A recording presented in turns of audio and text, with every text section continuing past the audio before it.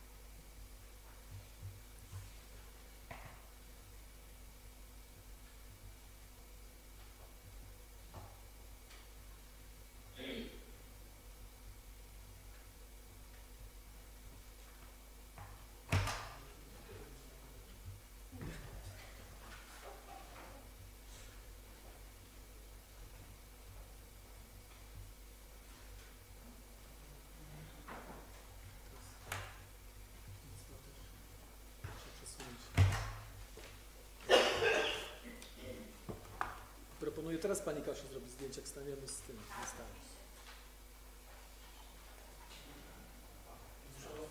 Nie, nie. Zaraz przyniesiemy Panu staroście. Pani Kasiu, ma Pani, ma pani taką białą jeszcze? Biał, białą teczkę. To ja wezmę białą staroście, damy niebieską. Dobrze, pamiętajmy. Dobrze, to proponuję. Teraz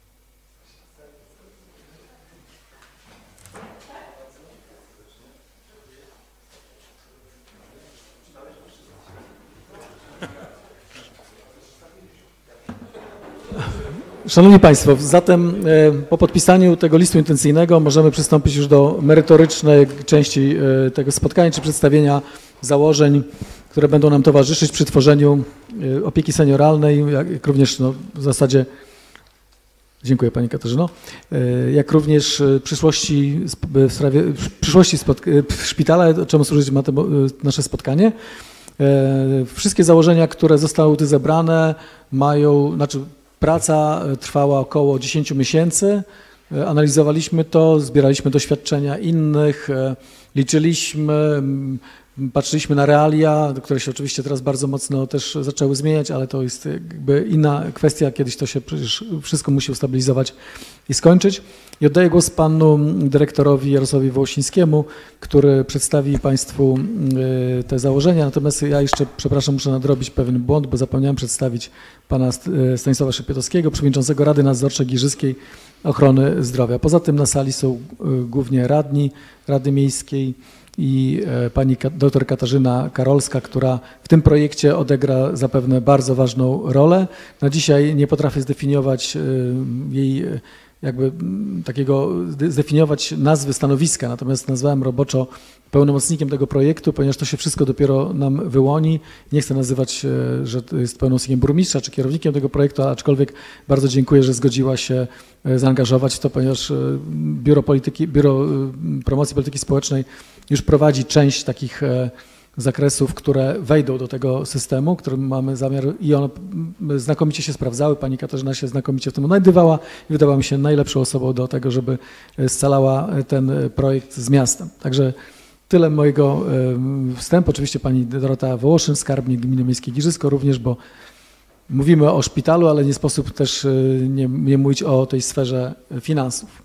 Więc już naprawdę skończyłem w tym wstępie, panie Jarosławie, oddaję głos. Dziękuję, dziękuję bardzo. Witam Państwa bardzo serdecznie. Nazywam się Jarek Wołosiński. Kieruję firmą, która zajmuje się e, wdrażaniem powiedzmy nowych technologii i rozwiązań oraz zarządzaniem inwestycjami tylko i wyłącznie w służbie zdrowia.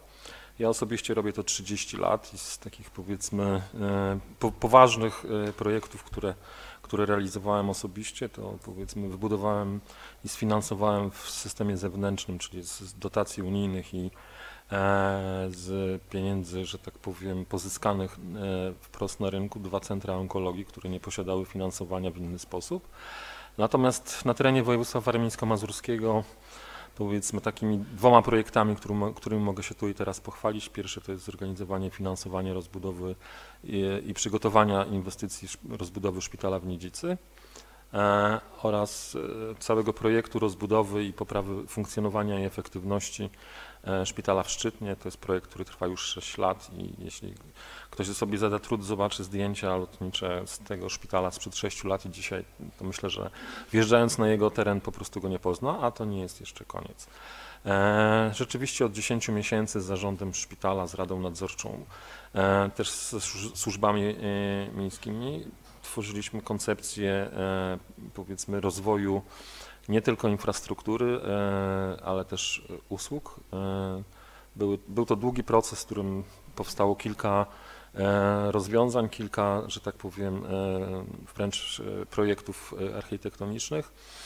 One wszystkie były jakby takim elementem, który był wymagany, żebyśmy doszli do takiego stanu, w którym możemy wyjść publicznie, powiedzieć, że tak, jesteśmy gotowi, żeby Państwu przedstawić, co jest planem, jaki jest sposób na jego wdrożenie oraz, co ważniejsze, jaki jest sposób na jego sfinansowanie i jakie te efekty przyniesie nie tylko jeśli chodzi o podniesienie jakości usług, ale rozszerzenie jakości usług i e, powiedzmy w jaki sposób jest to w stanie zabezpieczyć długoterminowe funkcjonowanie szpitala. Oceniamy, że jest to projekt, który będzie trwał 10 lat. To od razu mówię, żeby Państwo nie patrzyli na to jako projekt, który będzie e, w stanie się przeprowadzić e, powiedzmy e, szybko, no, z tym, że główna jego część, czyli dochodzenie do takiego optymalnego stanu, to jest około 5 lat. I to rzeczywiście po doświadczeniach i po sytuacji, która jest w tej chwili, tak, tak w naszej ocenie to jest. Mój zespół to są najczęściej ludzie, którzy w większości zajmowali się służbą zdrowia, byli menedżerami lub zarządzali szpitalami, a powiedzmy jedna z osób to jest też powiedzmy autor czy współautor ze mną takiego rozwiązania, które będę Państwu w dalszej części przedstawiał, które rzeczywiście zostało w Polsce zastosowane. To jest to taki projekt powiedzmy finansowania e, szpitala, ale nie e, główną osią wcale nie jest NFZ, bo tak, bo tak to jest po prostu, e, to w dalszej części i to rzeczywiście są moje doświadczenia zawodowe Mogę powiedzieć, że, że, rzeczywiście doprowadzenie do tej sytuacji zajęło nam dużo pracy. Zresztą pan przewodniczący wie, bo widzieliśmy się wielokrotnie, dyskutowaliśmy i z Radą Nadzorczą też nad konkretnymi e, rozwiązaniami. Mm, udało się też doprowadzić w istotnym elemencie do włączenia szpitala w Giżycku do takiego rozwiązania, które e, obejmuje senioralność w większym kawałku. Wręcz można powiedzieć, że w pewnym aspekcie szpital w Giżycku będzie liderem tego tego projektu. Takie porozumienie zostało już pomiędzy szpitalem w Szczytnie i starostwem w Szczytnie, e, panem burmistrzem oraz e, panem prezesem e, szpitala w Giżycku. Zostało już podpisane w tamtym tygodniu i tak naprawdę fizycznie prace ruszają. I w tej części, która dotyczy mm, szpitala w Giżycku, pozyskano tutaj dwie gminy, które stały się partnerami tego projektu i ten list intencyjny, który Państwo przed chwilą widzieli podpisani, to jest dokładnie tak naprawdę już uruchomienie procesu współdziałania i w pewien sposób w tej sali kiedyś padły takie słowa, że miał być to szpital mm, samorządowy. Nie, z różnych powodów tak się nie stało. E, no to można powiedzieć, że to wraca w pewien sposób, tylko troszeczkę inny, nie właścicielski, ale za to rzeczywiście e, te, współdzia te współdziałanie, jak Państwo zobaczą, ma po pierwsze sens i jest e, jakby dużą szansą nie tylko dla powiedzmy ludzi, którymi, którzy będą objęci tym działaniem, ale też dla obu gmin i dla miasta Giżycka również. Żeby nie, prze, nie przeciągać, o, zgasło. Ok.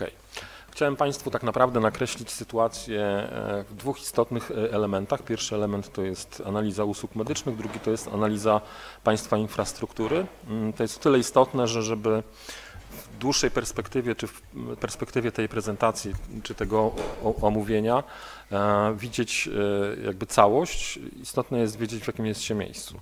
My bardzo długo e, wspólnie z panem prezesem analizowaliśmy różne plusy i minusy tego szpitala, bo o tyle było to powiedzmy jednoczasowe, że pan prezes chwilę wcześniej został po prostu prezesem i tą lekcję musiał odrabiać i odrabialiśmy ją wspólnie, ale w międzyczasie też tak naprawdę musieliśmy brać pod uwagę uwarunkowania, które dotyczą tego, w jaki sposób państwo polskie będzie i chce oddziaływać na e, powiedzmy na funkcjonowanie e, służby zdrowia, ponieważ to ogranicza sposób zasadniczy też rozwój usług. Oczywiście ja znam historię bardzo dobrze tego szpitala, dlatego że współpracując czy ze szpitalem w Szczytnie, czy też jeszcze z kilkoma innymi w mniejszym zakresie okolicznymi szpitalami, e, no mogę powiedzieć, że rzeczywiście powiedzmy pamiętam ją od początku, w sensie powiedzmy zmiany, zmiany formy funkcjonowania, no i mogę też się przyznać uczciwie, że biegałem po przejściu e, przed starostwem w Brągowie z personelem szpitala z butelkami, żeby tam się to nie wydarzyło.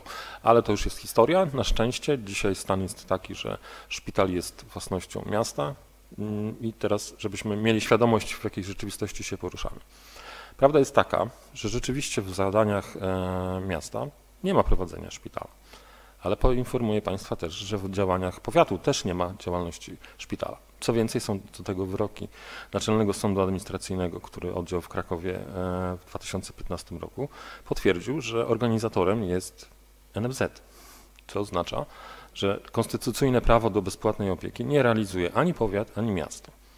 Chciałbym tym tekstem jakby raz na zawsze skończyć różnego rodzaju niepotrzebne, e, e, powiedzmy, nazwijmy to jakieś powiedzmy dochodzenie, może powiat powinien prowadzić, może ktoś inny. Nie, proszę Państwa.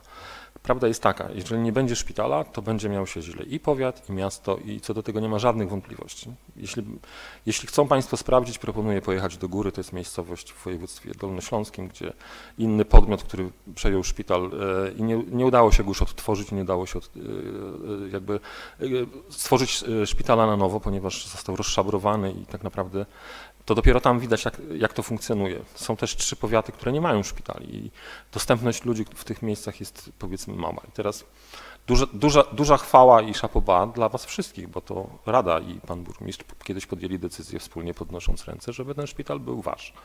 i niech tak zostanie i dzisiaj to jest pierwszy punkt. Drugi punkt to jest, musicie Państwo sobie zdawać sprawę, że macie szczęście posiadać szpital ponadregionalny. To są wymienione oddziały, które są takie, których nie ma w zwykłym szpitalu powiatowym. E, wracając jeszcze do tego, powiedzmy, czy miasto powinno prowadzić, Morąg prowadzi, prawda? Dużo mniejsza jednostka, Knyszyn, który ma tylko 14 tysięcy. To nie są ewenementy. Też, żeby Państwo wiedzieli jeszcze jedną historyczną rzecz, kiedyś w 1999 roku Ministerstwo Zdrowia w ramach reformy po prostu przekazało szpitale dla, e, dla, dla powiatów i dla e, tych, mówiąc, będzie fajnie, będzie NFZ, będą pieniądze. No nie? To, I taka jest historia. Dobrze, Państwo mają szpital e, na poziomie ponadregionalnym. Oczywiście nie jest to szpital z trzecią, że tak powiem, grupą referencyjną, ale są oddziały, które są powiedzmy na tyle ponadregionalne, że, że w swojej, w swojej, że tak powiem, istocie stają się e, pewnego rodzaju ważną częścią, jeśli chodzi o rozwój szpitala. Myślę o neurologii, myślę o urologii. E, oddział zakaźny, no to jakby samo przez się rozumie, jeśli ta sytuacja z pandemią w pewien sposób e, narzuciła ważność tego oddziałów, ale powiedzmy SOR i oddział ortopedyczny to są dwa elementy, które nie występują praktycznie w większości szpitali w okolicy.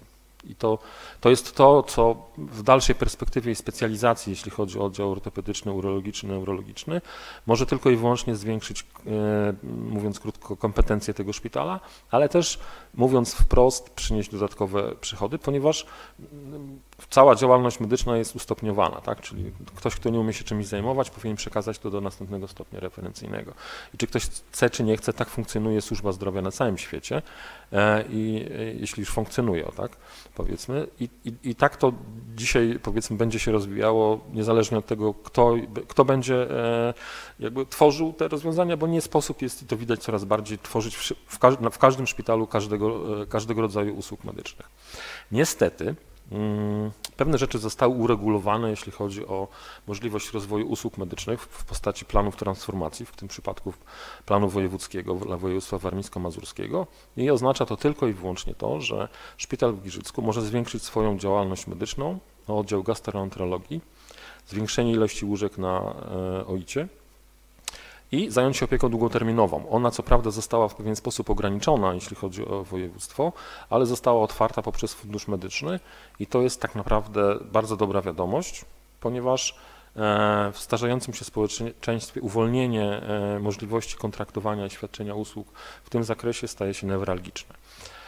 I zamykając to, co chcielibyśmy w dłuższej perspektywie e, przeprowadzić, to jest oddział gastroenterologiczny. On jest przewidziany do otwarcia od 2025 roku zgodnie z mapą e, e, potrzeb zdrowotnych i z planem transformacji dla województwa warmińsko-mazurskiego.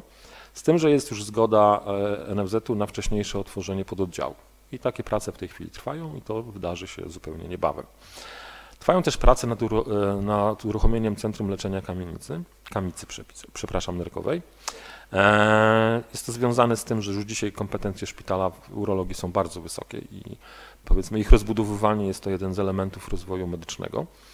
E, co ważniejsze, jest to produkt, który może być tak finansowany z NFZ-u, jak również finansowany e, z usług, że tak powiem, komercyjnych, ponieważ taki rynek generalnie w Polsce już funkcjonuje i do końca nie wiadomo tak naprawdę, czy większy jest ten rynek komercyjny, czy większy jest ten, który jest e, powiedzmy finansowany przez NFZ. Nie wynika to z niczego innego, jak tylko i wyłącznie z założeń, które przyjął NFZ co do e, powiedzmy zasadności świadczeń przy określonych warunkach klinicznych.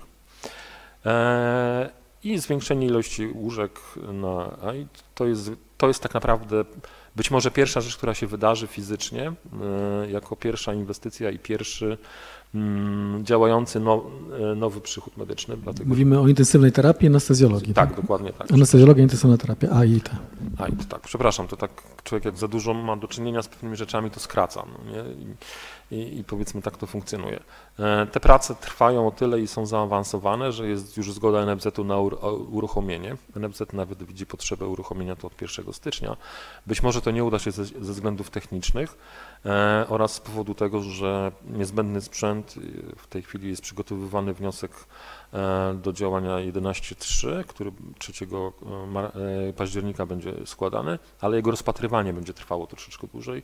W związku z tym oceniając szanse na otwarcie na 1 stycznia, znaczy szczerze mówiąc technicznie jest to możliwe, bo projekt i jakby założenia zmiany pomieszczeń i przeniesienia tego oddziału z, że tak powiem, okolic bloku do, na teren SOR-u są w zasadzie tak zaawansowane, że można by, by to ruszać już od ręki. Natomiast z punktu widzenia jeszcze powiedzmy dotacyjnego to jest tak, że wszystkie koszty kwalifikowane są e, już, że tak powiem, funkcjonujące od 1 stycznia 2021 roku, więc tutaj jesteśmy w terminie, ale do tego 3 e, e, października na pewno nie wydarzy się nic, natomiast po zobaczymy jaka będzie e, powiedzmy e, otwartość Urzędu Marszałkowskiego co do szybkości rozstrzygnięcia.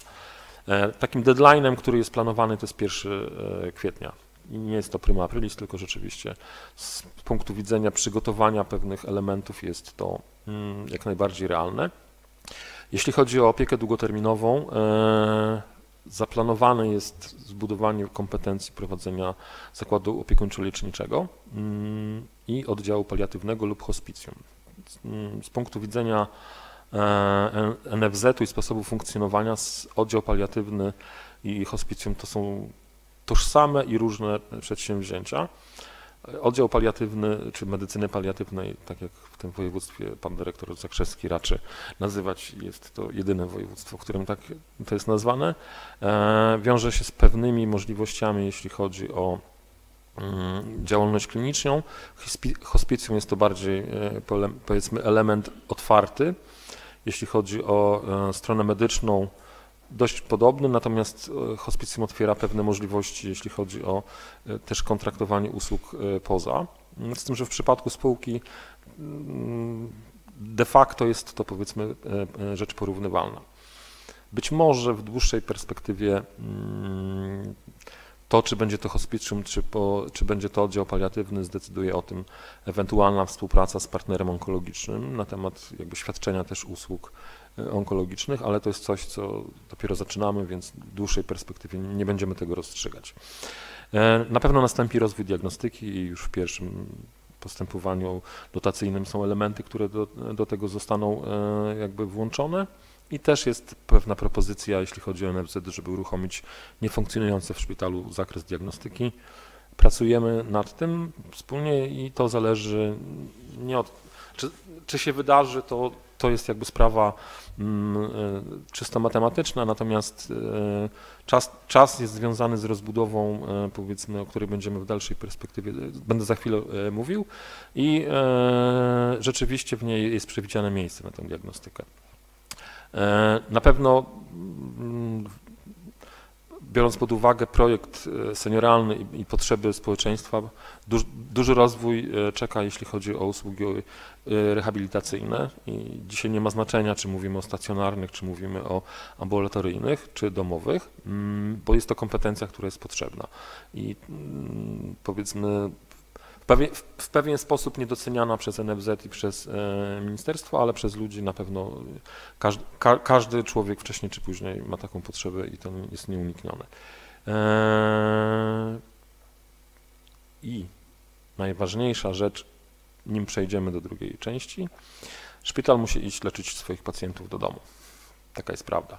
Dlatego, że najdroższa część leczenia to jest leczenie stacjonarne, Druga część to są zabiegi, e, które są e, zabiegami jednodniowymi i tu już pewne kompetencje szpital posiada i je będzie rozwijał.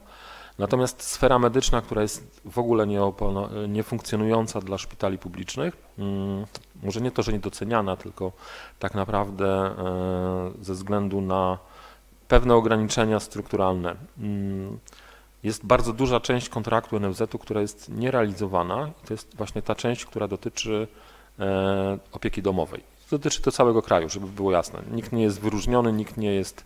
Dotyczy to dużych miast i małych ośrodków, natomiast zgodnie z e, planem NFZ-u są to pieniądze, które są poważne. Przygotowując podobny projekt, albo w zasadzie tożsamy, jeśli chodzi o usługi e, senioralne W Szczytnie zdefiniowaliśmy, że w dwóch sąsiednich powiatach i w powiecie szczytnieńskim jest to 40 milionów przychodu, znaczy 40 milionów nierealizowanych kontraktów, jeśli chodzi o usługi domowe.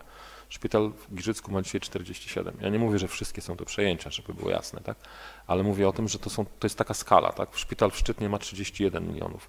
E, szpital w Przasnyszu, który, który też badaliśmy jako e, element tego, ma 37, czyli powiedzmy jest to mniej więcej, trochę więcej niż połowę.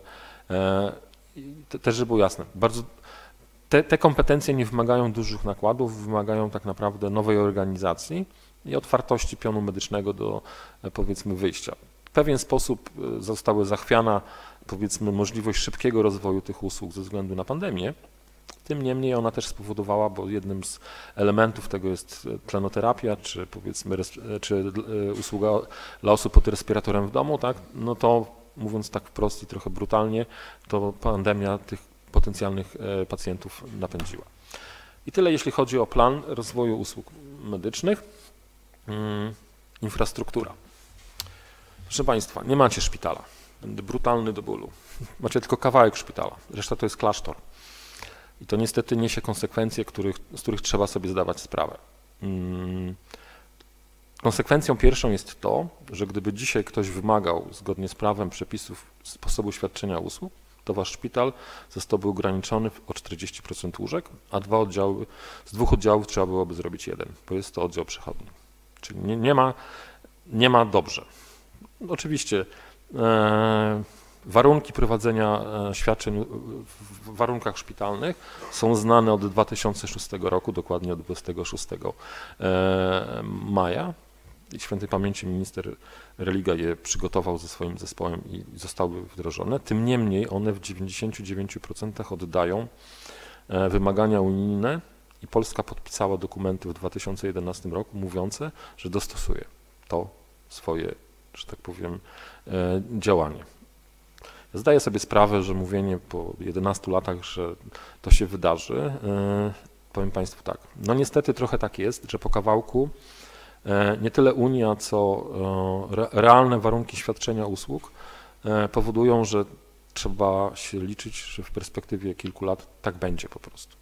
Coraz częściej przy jakiejkolwiek inwestycji istnieje takie zagrożenie, że sanepid nie zezwala na utrzymanie ilości łóżek, co jest niestety bardzo, e, że tak powiem, mm, bolesne, ponieważ to jednocześnie zabiera możliwość albo kontraktowania danego oddziału, czyli oznacza jego zamknięcie, czyli fizyczną likwidację, albo ogranicza ryczałt, albo ogranicza tak naprawdę finansowanie. I nie ma szans. Dostęp z trzech stron, żadnych łóżek przy ścianie, to powoduje, że w niektórych miejscach waszego szpitala tak naprawdę nie można prowadzić. E, druga część istotna to jest to, że gdyby ktoś przestrzegał, chciał przestrzegać i to tak, sytuacja jest taka sama, e, wasz trakt porodowy nie spełnia żadnych wymogów, wymogów i co ważniejsze nigdy nie spełniał. Oczywiście świadczy usługi, wszystko jest ok, ale to, jest takie, to są takie elementy, które trzeba brać absolutnie pod uwagę, że wcześniej czy później one mm, uderzą w szpital i uderzą w taki sposób, że powiedzmy zabiorą przychód, czyli zagrożą jego istnieniu, albo zlikwidują jakieś działalności. E, I to jest ten punkt drugi, który Państwo widzą. Nie spełnia, po prostu tak jest. I nie jest to winą nikogo, kto wcześniej zarządzał, bo w tej strukturze budowlanej przez trzy miesiące nasi projektanci próbowali znaleźć złoty środek, czyli tak podzielić te oddziały, tak zrobić komunikację, e, która no, powiem Państwu tak, są miejsca w, szpitalu, których nie da się w żaden sposób bez gigantycznych nakładów połączyć, jeśli chodzi o komunikację e, e, poziomą. Wbudowanie win, które należałoby e, posiadać, powiedzmy, no jest technicznie możliwe, oczywiście, tylko będzie kosztować gigantyczne pieniądze. W związku z tym efektem tych prac istotna też, istotny element, czyli Szpital, jeśli ma się rozwijać, jeśli ma przetrwać te trudne czasy i w przyszłości być rzeczywiście szpitalem, e, powiedzmy, ponadregionalnym, a sami Państwo wiedzą, jak wygląda sytuacja przynajmniej dwóch okolicznych szpitali, czyli mówię tu o Węgorzewie i Gołdapi, to, jest, to tak będzie, tak, że szpitale e, o słabszej infrastrukturze będą miały coraz większe problemy, a następnie, e, powiedzmy, będą zamieniane na obiekty, które funkcjonują w opiece długoterminowej, a nie świadczą usług szpitalnych.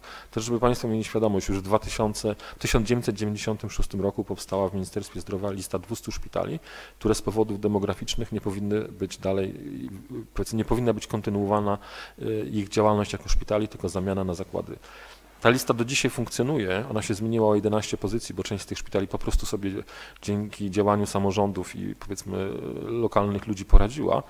Niemniej taka jest rzeczywistość. To tak jest, że nikogo nie stać, żadnego systemu i to nie mówimy tylko o Polsce, tylko też o, o innych bogatszych krajach, na utrzymywanie e, łóżek. Łóżek spadło 150 tysięcy, dzisiaj mamy 200 tysięcy, było 350, ale te łóżka tak naprawdę są potrzebne właśnie w opiece długoterminowej.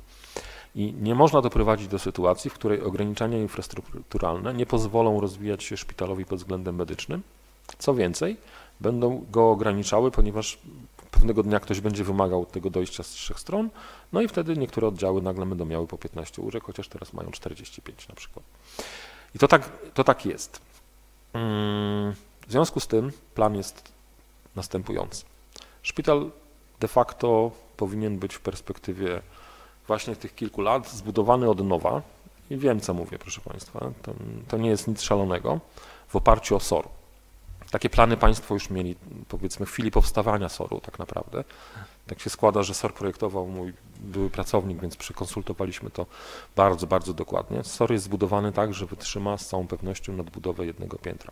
Być może dwóch, ale to policzymy, panie, bo tak, ja wiem. Znaczy założenia, założenia są znane, z tym, że te, w tej chwili, jeśli ma się ciężką medycynę, niestety trzeba zmienić ilość e, wytrzymałości z 583 metry w niektórych miejscach na, na prawie jedną tonę na metr kwadrat. I, ale powiem, powiem tak, z czystą odpowiedzialnością mogę powiedzieć, że w 95% tak jest, a te 5 to są wliczenia konstruktorów, które trwają po prostu. I zostawmy to fachowcom, tak? Ale plan jest, tak jak powiedziałem, na bazie SOR-u dobudowa w stronę dawnego oddziału, znaczy w stronę wzdłuż lądowiska i podniesienie o dwa poziomy. I teraz prace nad mm, rozbudową SOR-u mm, projektowe już się rozpoczęły. Czyli koncepcja taka, która e, pokazuje, jak duża to będzie nadbudowa już jest i trwają prace nad rozbudową SOR-u jako bazą e, rozwoju infrastruktury szpitala, czyli powstania tak naprawdę, i ja bym wcale się nie bał powiedzenia, to będzie nowy szpital, tak? To rzeczywiście będzie nowy szpital, są o tyle przyspieszone, że okazało się, że z funduszu y, medycznego pierwszy, pierwszy nabór będzie już ogłoszony w październiku. W związku z tym uśmiechamy się do pana starosty, bo przyjdziemy z bardzo szybkim pozwoleniem na, e, na budowę, bo to jest punktowane. E, do końca października z całą pewnością taki projekt, projekt budowlany powstanie. E, te już mamy w zasadzie w większości poza strażakiem mm, zrobione. Tak, tak. Tak, no nie, nie, nie są wymagane na szczęście. No więc, znaczy nadbudowa nie jest tak duża, że, że nie zmienia, po drugie to jest bardzo duża działka, w związku z tym nie przekraczamy w żaden sposób limitów, a pozwolenie na budowę dotyczy tylko jednego poziomu. Przy drugim i trzecim poziomie niestety będziemy... Dziękujemy bardzo. W związku z tym e, można przyjąć, że jest duża szansa, że w, w tym roku będzie już pozwolenie na, na rozbudowę. To będzie oznaczało zabranie troszeczkę miejsc parkingowych na tym parkingu, który znajduje się przed wjazdem do e, karetek. Ono zostanie przesunięte i ta część będzie taką najbardziej gorącą, gorącym elementem mm, szpitala, bo będzie SOR i wszystkie ciężkie oddziały, jakie będą funkcjonowały. E, I to jakby z punktu widzenia mm, start, to rzeczywiście jest szansa, że E, powiedzmy, jak tylko stopnieją śniegi, e, przy, że tak powiem, e, zaangażowaniu wszystkich będziemy mogli się spotkać i wbijać pierwszą łopatę. I ja w to bardzo wierzę. Powstanie 540 metrów dodatkowej powierzchni na piętrze. 540. Z tym, że w tej części parterowej od razu będzie uwzględniona nowa patomorfologia, diagnostyka, która zostanie przyniesiona przy sorze, nowa część, nowa część łącznikowa, windy, które będą potrzebne, mm, które wykorzystają część patio, które w tej chwili znajduje się w środku soru. Mm, patio nigdy nie będzie zabudowane, ponieważ e, oddziały będą usytuowane prostopadle do, do tego budynku i muszą mieć doświetlenie, w związku z tym ta linia patio będzie jakby taką tą częścią doświetlającą. E, no i na dole będzie SOR, będzie OJOM, będzie Izba Przyjęć Planowych i po 18 e, nocna i świąteczna e, pomoc, diagnostyka, patomorfologia i tyle. I to jest wszystko. Ten budynek, znaczy dalsze przesunięcie się jest niemożliwe. Korytarz e, łączący starą część i korytarz łączący oddział zakaźny. Co do oddziału zakaźnego, to on nie spełnia żadnych wymogów, żeby było jasne. Niestety i na szczęście. E, pandemia spowodowała, że są przyznane środki. Wiemy już, jak będzie wyglądał nowy oddział, tak? czyli nie, nie, szpital nie będzie inwestował w remont tej części dostosowania techniczne, czyli każde pomieszczenie z osobną wentylacją, to zostanie po prostu dobudowane. Będzie to budynek jednopiętrowy. E, blok operacyjny pozostanie w tym samym miejscu. Kończymy przygotowywać projekt remontu dwóch sal. Więcej nie będzie w tej chwili. Nie planuje się tak naprawdę większych ingerencji, bo poza stworzeniem wspólnego systemu mycia i pacjentów i, i logistyki, e, to tak naprawdę dwie sale doprowadzone do odpowiedniego stanu odpowiedniej infrastruktury.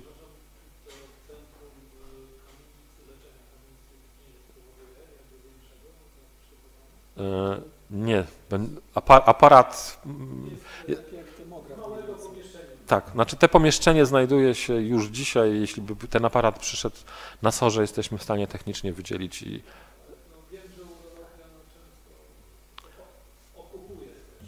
Nie, nie, panie starosto, to, to, są urządzenia, których się przychodzi jak na USG, tylko dzieją się trochę inne procesy e, i nie jest to działalność operacyjna, czyli mówiąc krótko, niekoniecznie laparoskopia i niekoniecznie, e, znaczy trochę spora powiedzmy sobie, bo to wynika z innych powodów, ale ona już tak naprawdę, gdyby dzisiaj przyszło ten aparat uruchomić, to ona się znajduje. I ona, i ona będzie na parterze i ona będzie schowana tam powiedzmy e, jakby z tyłu, bo, bo ona nie potrzebuje stałego dostępu.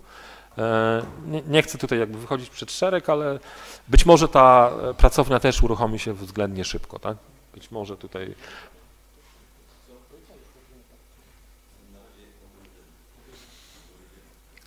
No dobrze, jakby tutaj panowie dyskutują, to ja będę, ja będę ten śmielszy. Aparat niedługo się zapakuje i przyjedzie. Taka jest rzeczywistość. Znalazł się sponsor, który to sfinansował i e, rzeczywiście tak jest. Tak jest rzeczywiście i będzie to taki skokowy postęp w jakości wachlarza świadczonych usług leczenia chorób urologicznych. Tu, tu mówimy o kamicy. I tak jak pan Jarosław Pyłosiński mówił, to pomieszczenie nie będzie musiało być aż takie szczególnie duże, dlatego że pacjent no, przychodzi jak do POZ-u, jak do lekarza rodzinnego, można powiedzieć. Tak? Nie kładzie się do szpitala, tylko przychodzi, jest e, zabieg wykonywany i wychodzi. Tak? Czyli, I to jest wysoko wyceniane z tego, co mi się tam wydaje, więc warto w to, warto w to iść. Po drugie, tak jak powiedziałem, ilość procedur komercyjnych nieobjętych świadczeniem NZ-u jest stosunkowo duża w Polsce, w Europie również. No i co ważniejsze, nie powoduje konieczności operacji, co jest dla ludzi po prostu e, z tym schorzeniem, i to jest schorzenie, które ma tendencję do odtwarzania się, proszę pamiętać, jest istotne, tak? bo to jest naturalna zdolność organizmu do odkładania po prostu wapnia i ono ktoś, kto, kto ma, taką, ma taką tendencję, będzie miał ją e, często. Także to jest fizycznie, powiedzmy, rzeczywiście pierwsza działalność i, on, i, ona rzeczywiście tak naprawdę wymaga tylko bardzo twardej podłogi, a jej wzmocnienie w jednym z pomieszczeń SOR-u nie wymaga jakichś gigantycznych prac i nie wymaga też nawet pozwolenia na budowę czy zgłoszenia. Dobrze, kończąc ten wątek, mm, istotne jest to, co się stanie starą częścią, bo nową już omówiliśmy i ona tam wcześniej czy później rzeczywiście ma realnie szansę to y, powstać. Też proszę pamiętać, że powstała, że, że po raz pierwszy od dłuższego czasu możecie powiedzieć, że macie szczęście jako społeczność giżycka, dlatego że przesunięcie o dwa lata e, procesu e, wykorzystania środków unijnych, ten czas pandemii spowodował, że powiedzmy właściciel miasto nabrało już, że tak powiem, e, pewnej wprawy w e, prowadzeniu szpitala i mm, pewnej odwagi w podejmowaniu decyzji. To jest zawsze taki element, który wymaga czasu po prostu i dotyczy to każdej działalności. E, I też, e, mówiąc krótko, pewne rzeczy wewnątrz szpitala zaczęły się stabilizować po zmianie właścicielskiej. W związku z tym nie straciliście pierwszych naborów na inwestycje. A drugie szczęście jest takie, że nastąpiła akumulacja, czyli mamy te same zadania, możemy sfinansować z trzech różnych źródeł niezależnych.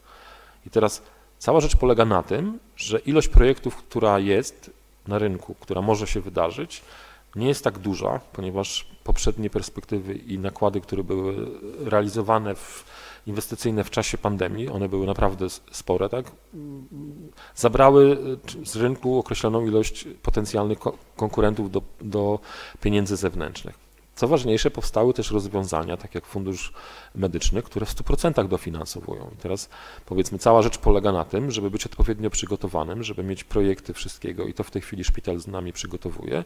Czyli mówiąc krótko, mniej więcej za pół roku na każdy z tych elementów będzie, będzie nie tylko projekt, ale będzie pozwolenie na budowę. Dlatego, że to ten, kto ma coś takiego, ma największe szanse na otrzymanie dofinansowania, bo potwierdza w 100%, że jest gotowy.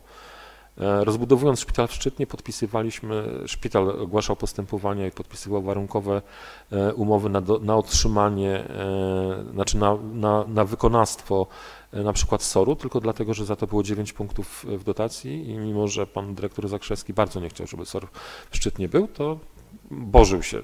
Proszę zapytać waszego pana prezesa. Mówił, że po jego trupie będzie 11 SOR w tym województwie warmińsko-mazurskim, no to jest. Tak rzeczywiście. A ma się bardzo dobrze, ale nie nale... to tylko pokazuje, ten kto jest gotowy, przy w przypadku takiej kumulacji dostępności środków, ten tak naprawdę ma szansę wygrać. Istotne jest to, że też są fundusze, które nie wymagają wkładu własnego. To, jest, to też jest jakby e, ważne i istotne. W związku z tym to... Nie, nie jest w KPO. To jest fund, w KPO są pieniądze, które są przewidziane na rozwój. Powiedzmy, one są konkurencyjne o tyle, że mm, to, to miał być jeden z kamieniów milowych, czyli dostosowanie infrastruktury, jeśli chodzi o powiedzmy ratownictwo medyczne. Tylko w KPO jest więcej na szkolenia i na karetki, a w funduszu medycznym jest na infrastrukturę. No I to jest Mało tego, w Feniksie, czyli dawnym e, e, Poisiu, też są 784 miliony euro dokładnie na, e, na służbę zdrowia, z czego 400, 240 jest na ratownictwo i one się powielają, tylko to trochę jest tak, że nie warto jakby nie z każdego funduszu w każdym czasie warto skorzystać, ale zawsze zostaje to rozwiązanie B, tak? bo jak jest tylko w jednym, no to nie, dosta, nie dostajemy z jakichś tam względów, no to mamy, e, że tak powiem, już nie mamy e, perspektywy. W momencie, w którym mamy A, e, powiedzmy trzy, trzy źródła finansowania, to jest zupełnie inaczej. To jest wtedy tak naprawdę dużo, dużo większe poczucie bezpieczeństwa. No i rzeczywiście jest tak, że musieliśmy podzielić tę inwestycję na, na elementy, dlatego że Państwo polskie wprowadziło ocenę celowości inwestycji medycznych dawny Fenix i gdybyśmy tego nie przeprowadzili ze szpitalem, musielibyśmy się ubiegać na poziomie e, e, premiera niestety e, o zgodę. Zostały przekroczone metry i wartości, a tak rzeczywiście jest to bardziej stabilne. Myślę, że jeśli chodzi o infrastrukturę, powiedziałem Państwu naprawdę dużo i wyczerpująco, ponieważ jakby na ten moment więcej informacji dopóki projektanci nie skończą projektować, to są znaczy są, są wizualizacje nawet pewny, pewnych elementów, ale to nie jest moment, w którym warto o tym rozmawiać. Plan jest bardzo prosty. Nad budynkiem SOR-u powstanie nowy szpital. Oczywiście to nie jest tak, że wszystkie funkcje, które są w starym szpitalu zostaną stamtąd zabrane, no nie? ale powstanie rzeczywiście ta najbardziej e, trudna część, bo w medycynie to jest tak, że ta najbardziej, że tak powiem, zaawansowana i najbardziej wymagająca część musi mieć swoją, swoją twardą infrastrukturę przystosowaną do siebie. No nie? I to, to nie jest, to, to inaczej tak nie będzie. Teraz pomysł na stary szpital, skoro jest tym e, klasztorem, e, to tak naprawdę on ma gigantyczny potencjał, jeśli chodzi o mm, stacjonarną opiekę długoterminową. Będzie e, wykorzystany, tak jak było napisane, na ZOLA i na opiekę e, paliatywną. Będzie ta, będą, będą tam też znaczące elementy e, związane z rehabilitacją ale tylko i wyłącznie nazwijmy to e, medyczną, czyli, e, bo przejdziemy jeszcze do jednego elementu, który jest w dalszej części. Tu dzisiaj będzie to jeden z bardziej wypasionych ośrodków, ponieważ takie same przepisy jak w działalności na szpitalu, na oddziale wewnętrznym czy na oddziale urologicznym obowiązują w ZOL-u i w hospicjum. Czyli będą to pomieszczenia, których będą stały na przykład tylko dwa łóżka i, i będą spore, dlatego że przebudowa tego w ocenie konserwatora oznaczałaby naprawdę gigantyczne i niepotrzebne koszty. Faktem jest, że będzie to pewnego rodzaju powiedzmy luksuso, luksusowe rozwiązanie, no ale y, nie da się jakby inwestować we wszystko i trzeba przyjąć z, z dobrodziejstwem inwentarza to takie, jakie jest. W związku z tym rzeczywiście tej powierzchni jest troszeczkę za dużo, jeśli się liczy metry, ale jeśli chodzi o pomieszczenia i możliwość y, wyburzeń, no to sorry, no to, no to tak będzie. Tak? Natomiast będzie tam rzeczywiście e, medyczna część e, systemu senioralnego, mm, bo to jest najtańszy sposób jego wykorzystania. Oczywiście będzie też przeniesiona dyrekcja, czy cały zarząd i administracja w jedno miejsce, bo jest. Nie, nie, na trzecie piętro, na samą górę, ponieważ no, też jakąś tam powiedzmy plan rozwoju POZ-u i, i, przychodni specjalistycznych będzie oparty o ten budynek, którym, którym dzisiaj się mieści zarząd, no ale to są już jakby takie szczegóły elementy. Myślę, że dzisiaj to jest. Eee, no i teraz przechodzimy do najważniejszego, tak naprawdę, bo łatwo jest dostać dotację, dużo trudniej jest utrzymać, y, powiedzmy, y, czy zarabiać w taki sposób, żeby po pierwsze pokryć zwiększone przy, potrzeby na, y, na, na, personel i na jego płace, dwa na zwiększone koszty funkcjonowania infrastruktury technicznej, bo nowy budynek wcale nie oznacza, że będzie taniej, wręcz przeciwnie. Zrobienie E, powiedzmy nawiewów laminarnych w dwóch salach operacyjnych, które się musi wydarzyć, żeby można było świadczyć e, bardziej zaawansowane operacje, oznacza, że będzie to kosztowało w starych pieniądzach mniej więcej 150 tysięcy rocznie na jedną salę. To jest tylko i wyłącznie koszt ogrzewania i chłodzenia powietrza. Nie mówię już o filtrach HEPA czy o innych e, rozwiązaniach. I to niestety tak jest. Jak się, jak się wybudujesz nową część szpitala, wygląda fajnie, jak się ją odbiera i przecina wstęgę, jak przychodzi płacić rachunki. No jeśli się tego w odpowiedni sposób nie zaplanuje i nie, nie policzy, no to wtedy jest słabo. Taki najbardziej znany w Polsce przypadek jest w województwie warmińsko-mazurskim, nazywa się Szpital Wojewódzki, który kiedyś za pieniądze marszałka dostał sobie 12 sal operacyjnych podłączonych do jednej, jednego systemu wentylacyjnego i okazało się, że nikogo nie stać na to, żeby te 12 sal funkcjonowało w jednym czasie, bo tak musiało być. Pielęgniarek, y, instrumentariuszek i anestezjologicznych to z całego województwa trzeba by ściągnąć, anestezjologów też. I drugie 8 milionów poszło tylko na to, żeby podzielić to na cztery niezależne, e, trzysalowe bloki. Tak? I dzisiaj jedyny, znaczy mało tego, miał w projekcie być dobudowana część szpitala, gdzie ci ludzie, których codziennie te 12 sal operuje, gdzieś się muszą położyć, prawda? Bo to nie jest tak, że operujemy i do domu, nie? No i to jest taki najbardziej znany przypadek, gdzie już z istniejącej e, rozwiązania dzielono, ponieważ koszty odpalenia tylko były sakramenckie i bez sensu. No i teraz mówiąc wprost, pracując tutaj z, z zarządem, główną, że tak powiem, e, rolą nie było stworzenie tego rozwiązania, nazwijmy to rozwoju szpitala, bo on po pierwsze był już przygotowany w jakiejś mierze wcześniej my tak naprawdę skorzystaliśmy z tego, co jest, zmieniając, dostosowując oczywiście do wymogów, które są dzisiaj, ale gro tych prac zostało przez Państwa zrobionych na starcie, tak jak jeśli chodzi o SOR. Projekty sposobu wykorzystania SOR-u, oczywiście mo można dyskutować, czy ten jest lepszy, czy tamten, ale już były. E, natomiast istotne jest to, żeby szpital zarabiał dodatkowe pieniądze. A to oznacza, że musi zmienić swój profil. To znaczy, że musi zająć się działalnością, która nie dotyczy tylko medycyny. Dlatego, że opieka senioralna świadczona poprzez część szpitalną to jest tylko 15% opieki senioralnej, która jest potrzebna. Tak? Opieka nad osobami niepełnosprawnymi to jest 30% tego, co może szpital dać, nawet z tymi świadczeniami, które, robi, które, które jest w stanie prowadzić w domu.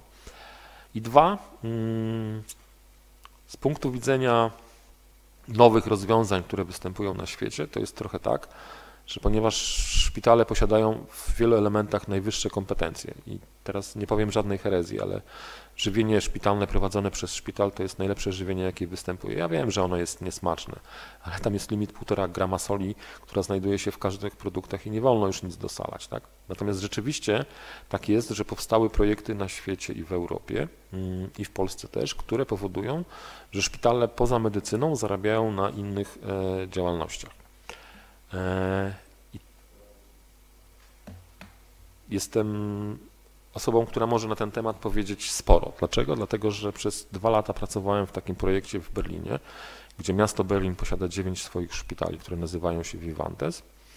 No i pewnego dnia doszło do wniosku, że założy sobie spółkę w ramach tego szpitala, która będzie odpowiadała za działalność outsourcingową, czyli wróci to do to, co było oddane firmom zewnętrznym. Do tego zatrudniono grupę osób, e, które pracowały w, firmie, w firmach właśnie tych e, zewnętrznych outsourcingowych i powstała firma SVL, czyli e, logistyka e, dla tego szpitala, która od razu od początku do końca miała przejąć nie tylko tą działalność, ale właśnie też działalność senioralną, ponieważ uznano, że tylko takie połączenie daje stabilność nie tylko tej spółce, ale też tym projektom senioralnym i stała się też żywicielem dla wszystkich e, rzeczy, które funkcjonują w ramach własności miasta Berlina. I dzisiaj to jest największa firma żywieniowa w Niemczech. Dzisiaj to jest największa firma e, logistyczna dla szpitali w Niemczech.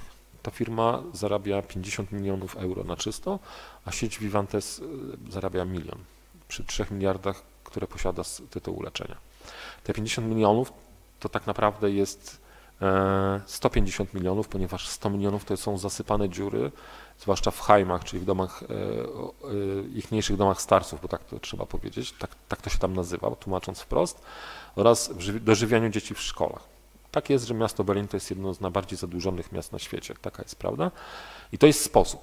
Ten sposób kiedyś w Polsce paru, znaczy generalnie powiedzmy żywienie, szpitale, które żywią na zewnątrz w, w, w, różne obiekty w Polsce jest ich około 20. Ale jest taki projekt niepowtarzalny, który powstał w Gryficach. To jest przeniesienie dokładnie tego projektu. No, wracając, co ja tam robiłem, a otóż odpowiadałem za stworzenie systemu żywienia, ponieważ ludzie, którzy E, moja, moja droga zawodowa jest taka, że w szpitalach na początku zajmowałem się e, systemami żywienia, systemami e, prania i systemami centralnej sterylizatorni. I zostało uznane, że moje kompetencje są na tyle wysokie, że postanowiono, że ten, tą budowę tej kuchni i tego systemu żywienia powierzono facetowi z Polski. No i rzeczywiście przez dwa lata udało się to zbudować. Te doświadczenia przenieśliśmy z moim zespołem do Gryfic i tam, proszę sobie sprawdzić, to jest ewenement. Szpital na działalności medycznej od 2007 roku traci mniej więcej równowartość 3 milionów. Na działalności niemedycznej zarabia 6 milionów, co oznacza, że co roku ma wynik na plus dokładnie 3 miliony. Z, z tego tytułu działalności e, udało mu się zainwestować 200 milionów w swoją infrastrukturę, E, przychód tego szpitala wzrósł z 36 do 136 milionów, wliczając to działalność niemedyczną. A największą, e, powiedzmy, taką sukcesem, który trzeba uznać, to jest to, że jest niezależny energetycznie, ponieważ jednym z zadań, które zostało zrealizowane, to było zbudowanie całego systemu odbioru i spalania odpadów medycznych, które stało się tak naprawdę elektrownią tego szpitala, a jednocześnie e, takim, nazwijmy to, koniem pociągowym, który dawał pieniądze na wkłady własne i na inwestycje. Marszałek województwa zachodniopomorskiego na te 200 milionów dotacji, które ten szpital pozyskał na swój rozwój, wydał tylko 1 milion. Resztę wszystko zarobiło, e, e, zarobił ten szpital. To jest największa firma żywieniowa w tej części tego województwa, to jest największa pralnia, która obsługuje e, nawet e, powiedzmy uzdrowisko Kołobrzeg, i tak dalej, i tak dalej. I teraz, jeśli Państwo nie wierzą, to proszę tam pojechać. W pewnym momencie szpital w Gryficach kupił prywatny szpital w Resku. I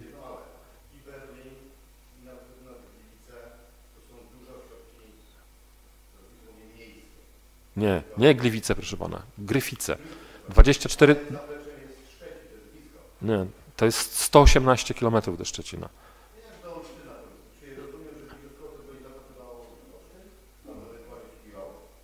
Olsztyn nie. Nie, ale wie pan, nie rozumiem mm, jednej... Dobrze, no ale ja pan, mogę, mogę panu odpowiedzieć. Gryfice to jest 24 tysiące mieszkańców. To nie jest większe ani mniejsze, tylko dużo mniejsze w realu od, od państwa, tak? Od, nie, tak, ma jedną działalność, która jest więcej, to jest działalność związana z e, oddziałem oparzeniowym, ale to jest tylko 12 milionów. Nie, oczywiście, że tak. No, proszę Państwa, jeżeli, jeżeli, jeżeli byśmy patrzyli na kawałek, który dotyczy tylko jednego powiatu, to jest niemożliwe. Tam powiedzmy, jest to w czterech powiatach, no nie? Obsługi, obsługiwane są cztery powiaty. 4,5 tysiąca e, posiłków, e, znaczy osobodni e, jest wydawanych, dotyczy różnych działalności. Do Kołobrzegu jest 84 km i rzeczywiście to tak jest. Natomiast buduje się rozwiązanie pod miejsce. To nie jest tak, oczywiście łatwo jest zbudować coś dla Berlina, który poza tym, że ma e, zupełnie inną infrastrukturę i w samych Heimów miał 36, tak, i 9 szpitali, co nie znaczy, że przełożenie czy prze, e, jakby prze, przemodelowanie tego na e, elementy, które występują w, w Gryficach było proste. Nikt Nikt tak nie powiedział, tak? Skala, skala, była budowana 4 lata, no nie? I to, to też nie jest tak, że projekt, tak jak e, w przypadku tego, o czym rozmawiamy, ruszył. E, przez dwa lata przekonywaliśmy e, zarządzających, było tyle łatwiej się z nimi spotykać, że wszyscy okoliczni starostowie i burmistrzowie byli w Radzie Społecznej tego szpitala, no nie? Ale nawet pokazując im, co szpital robi, bo jakby od pierwszego roku już było jakieś tam ma, ma, małe e, e, żywienie i co najśmieszniejsze, w większości obiektów komercyjnych, bo one potrafiły docenić jakość i cenę, to dwa lata zajęło przekonanie, to jest jasne. No nie? Natomiast w Państwa przypadku nie mówimy tutaj o rozwiązaniu, które, mm, które będzie budowane od zera. To jest tak, że jest partner, z którym e, pewne elementy będą wspólnie budowane, i dwa, e, to jest działalność pomocnicza. To nie jest działalność podstawowa. Podstawowym rozwojem działalności ma być świadczenie usług, jeśli chodzi o projekt senioralny. To jest tylko wsparcie. I teraz... Nie. Nie, pani dyrektor. Nie pamięta pani, ale e, kiedyś Aspen wysłał mnie do pani, żebym przygotował projekt rozbudowy jednej e, kuchni, która potem została zlikwidowana. Tak jest, nie sprawdził się. I nie sprawdził się nie tylko w Polsce, żeby było jasne. To jest konflikt interesów, to jest naturalne, dlatego że najlepsze posiłki w cateringu to są te, których się nie wydaje szpitalnym, ponieważ są zamówione, a nie dostarcza ich się, prawda? Jakość i wożenie z Kętrzyna nie sprawdziło się, bo po prostu jest za daleko i w tej technologii gorącej jest nie do utrzymania. Tak, tak. No wynikał z tego, że nie mieliście. Tak, tak, oczywiście nie mieliście pieniędzy na inwestycje i jedynym powodem, który to powodował, było to, że przychodził partner zewnętrzny, który mówił, ja mam pieniądze, ja to zrobię i będę was żywił. To jest naturalne, to jest element przejściowy, który Niemcy ćwiczyli 40, 35 lat, tak, i doszli do wniosku, że nie działa. U nas tylko 20, czyli tak jesteśmy od nich lepsi. Także to, proszę na to patrzeć w ten sposób. To nie znaczy, że, że to, co było wcześniej, było złe. Po prostu nie byłoby nic. Byliby ludzie, którzy by umierali, bo dostaliby posiłki, które były zbrojone w gównianej, e, przepraszam za słowo, w bardzo złych warunkach i, i tyle, tak? To było optymalne rozwiązanie w tamtym momencie. Dzisiaj żyjemy w innej rzeczywistości, w innej przestrzeni i musimy się dostosować i, i, i to jest iście do przodu, żeby było jasne. Powrót Mogę Państwu się przyznać, mój przyjaciel świętej pamięci, e, dyrektor jednego z warszawskich szpitali kiedyś wymyślił, że zabierze nomen omen właśnie e, firmie outsourcingowej kuchnię i sprzątanie. I ja to zrobiłem po drugiej stronie. E, I nie to, że lansuję siebie i opowiadam, tylko to jest rzeczywisty przypadek, kiedy do dzisiaj ta kuchnia w tym szpitalu funkcjonuje i, i tak naprawdę nie ma powodu, żeby coś się zmieniło. To nie jest tak, że się, się takie rzeczy nie działy. Oczywiście dzisiaj nie ma takiej e, przestrzeni w szpitalu, żeby ta kuchnia powstała, w związku z tym też nie ma potrzeby e, tak naprawdę realnie. Potrzebny jest obiekt, który jest w stanie obsłużyć, czy powiedzmy sieć obiektów, e, większy zakres, ponieważ ja Państwu powiem, takie, robiliśmy takie zadanie dla miasta Olsztyna. Analiza polegająca na stwierdzeniu, ile zmieni się, jeśli zamiast 34 kuchni w ich ośrodkach będzie 10, i będą podłączone pod jeden system. Oszczędności roczne 17 milionów na wkładzie własnym, na nieponiesionych inwestycjach i na e, powiedzmy kosztach wytworzenia, przy tym, że logistyka zawierała wwożenie do, e, do poszczególnych miast. To jest prawo wielkich liczb. Jeżeli kupujemy dla jednego obiektu, czyli szkoły, i każda szkoła kupuje oddzielnie, kupuje w cenie, nawet kupując w Tradisie, Tradisie czyli w hurtowni, która rozwozi, płaci 50 zł za logistykę za każdy przyjazd. A dzisiaj przewozi się tak naprawdę codziennie. No Taka jest rzeczywistość. I teraz jak się policzy, jakie są na tym straty, to właśnie takie. I teraz dlaczego warto? Warto dlatego, że wszyscy na tym zyskają, bo z jednej strony e, samorządy, które mogą tylko i wyłącznie e, brać pieniądze za wkład do kotła, bo inaczej im nie wolno, tak? Przełożenie tego na wyższe koszty wytworzenia i logistykę powoduje, że są niższe koszty wytworzenia na miejscu, no nie? Bo, bo, bo, tak, bo tak to działa po prostu, tak, tak to jest. No nie? I teraz jedna ważna rzecz. Proszę do tego się nie przywiązywać jako do głównego zadania. To jest jeden z elementów wspomagających, bo stół najlepiej sto... No tak, oczywiście. No, Znaczy, proszę Państwa, to nie, to, to, nie jest tak, że szpitale nie żywią e, swoich właścicieli. Naprawdę, w Polsce jest 20 szpitali, co najmniej, które ja znam. To nie znaczy, że jest, nie ma ich więcej, ale ja znam 20 szpitali, których świadczą usługi dla swoich e, właścicieli samorządów, czy powiedzmy, e, tak jak jest w Lesznie, szpital jest wojewódzki, ale jest porozumienie z prezydentem miasta i to jest obsługujący szkoły, powiedzmy nie wszystkie, tylko w zakresie powiedzmy e, części ze względu na możliwości produkcyjnej kuchni, ale to jest 2,5 tysiąca posiłków.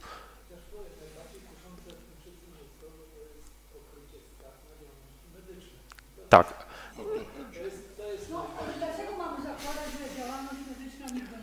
Pani, pani dyrektor, bo nikomu się to nie udaje na świecie. Poza Ameryką, gdzie kosztuje wszystko gigantyczne pieniądze, nie znam osobiście systemu e, zdrowia, który nie e, generuje. Pani co? Wie pani co? Pochodzę z, po, pochodzę z Podlasia, urodziłem się w Białymstoku. Moja, moja babcia mieszkała 6 km od granicy obecnej z Białorusią, e, także no, możliwe, że tak jest. Ja nie wiem, ja tam nie byłem. Natomiast, natomiast rzeczywiście, rzeczywiście jest tak i to ten przykład Vivantesa jakby jest znamienny, tak? Firma, która obsługuje go, zarabia dużo, a on ledwie wyciąga 1 milion przy 3 miliardach obrotu.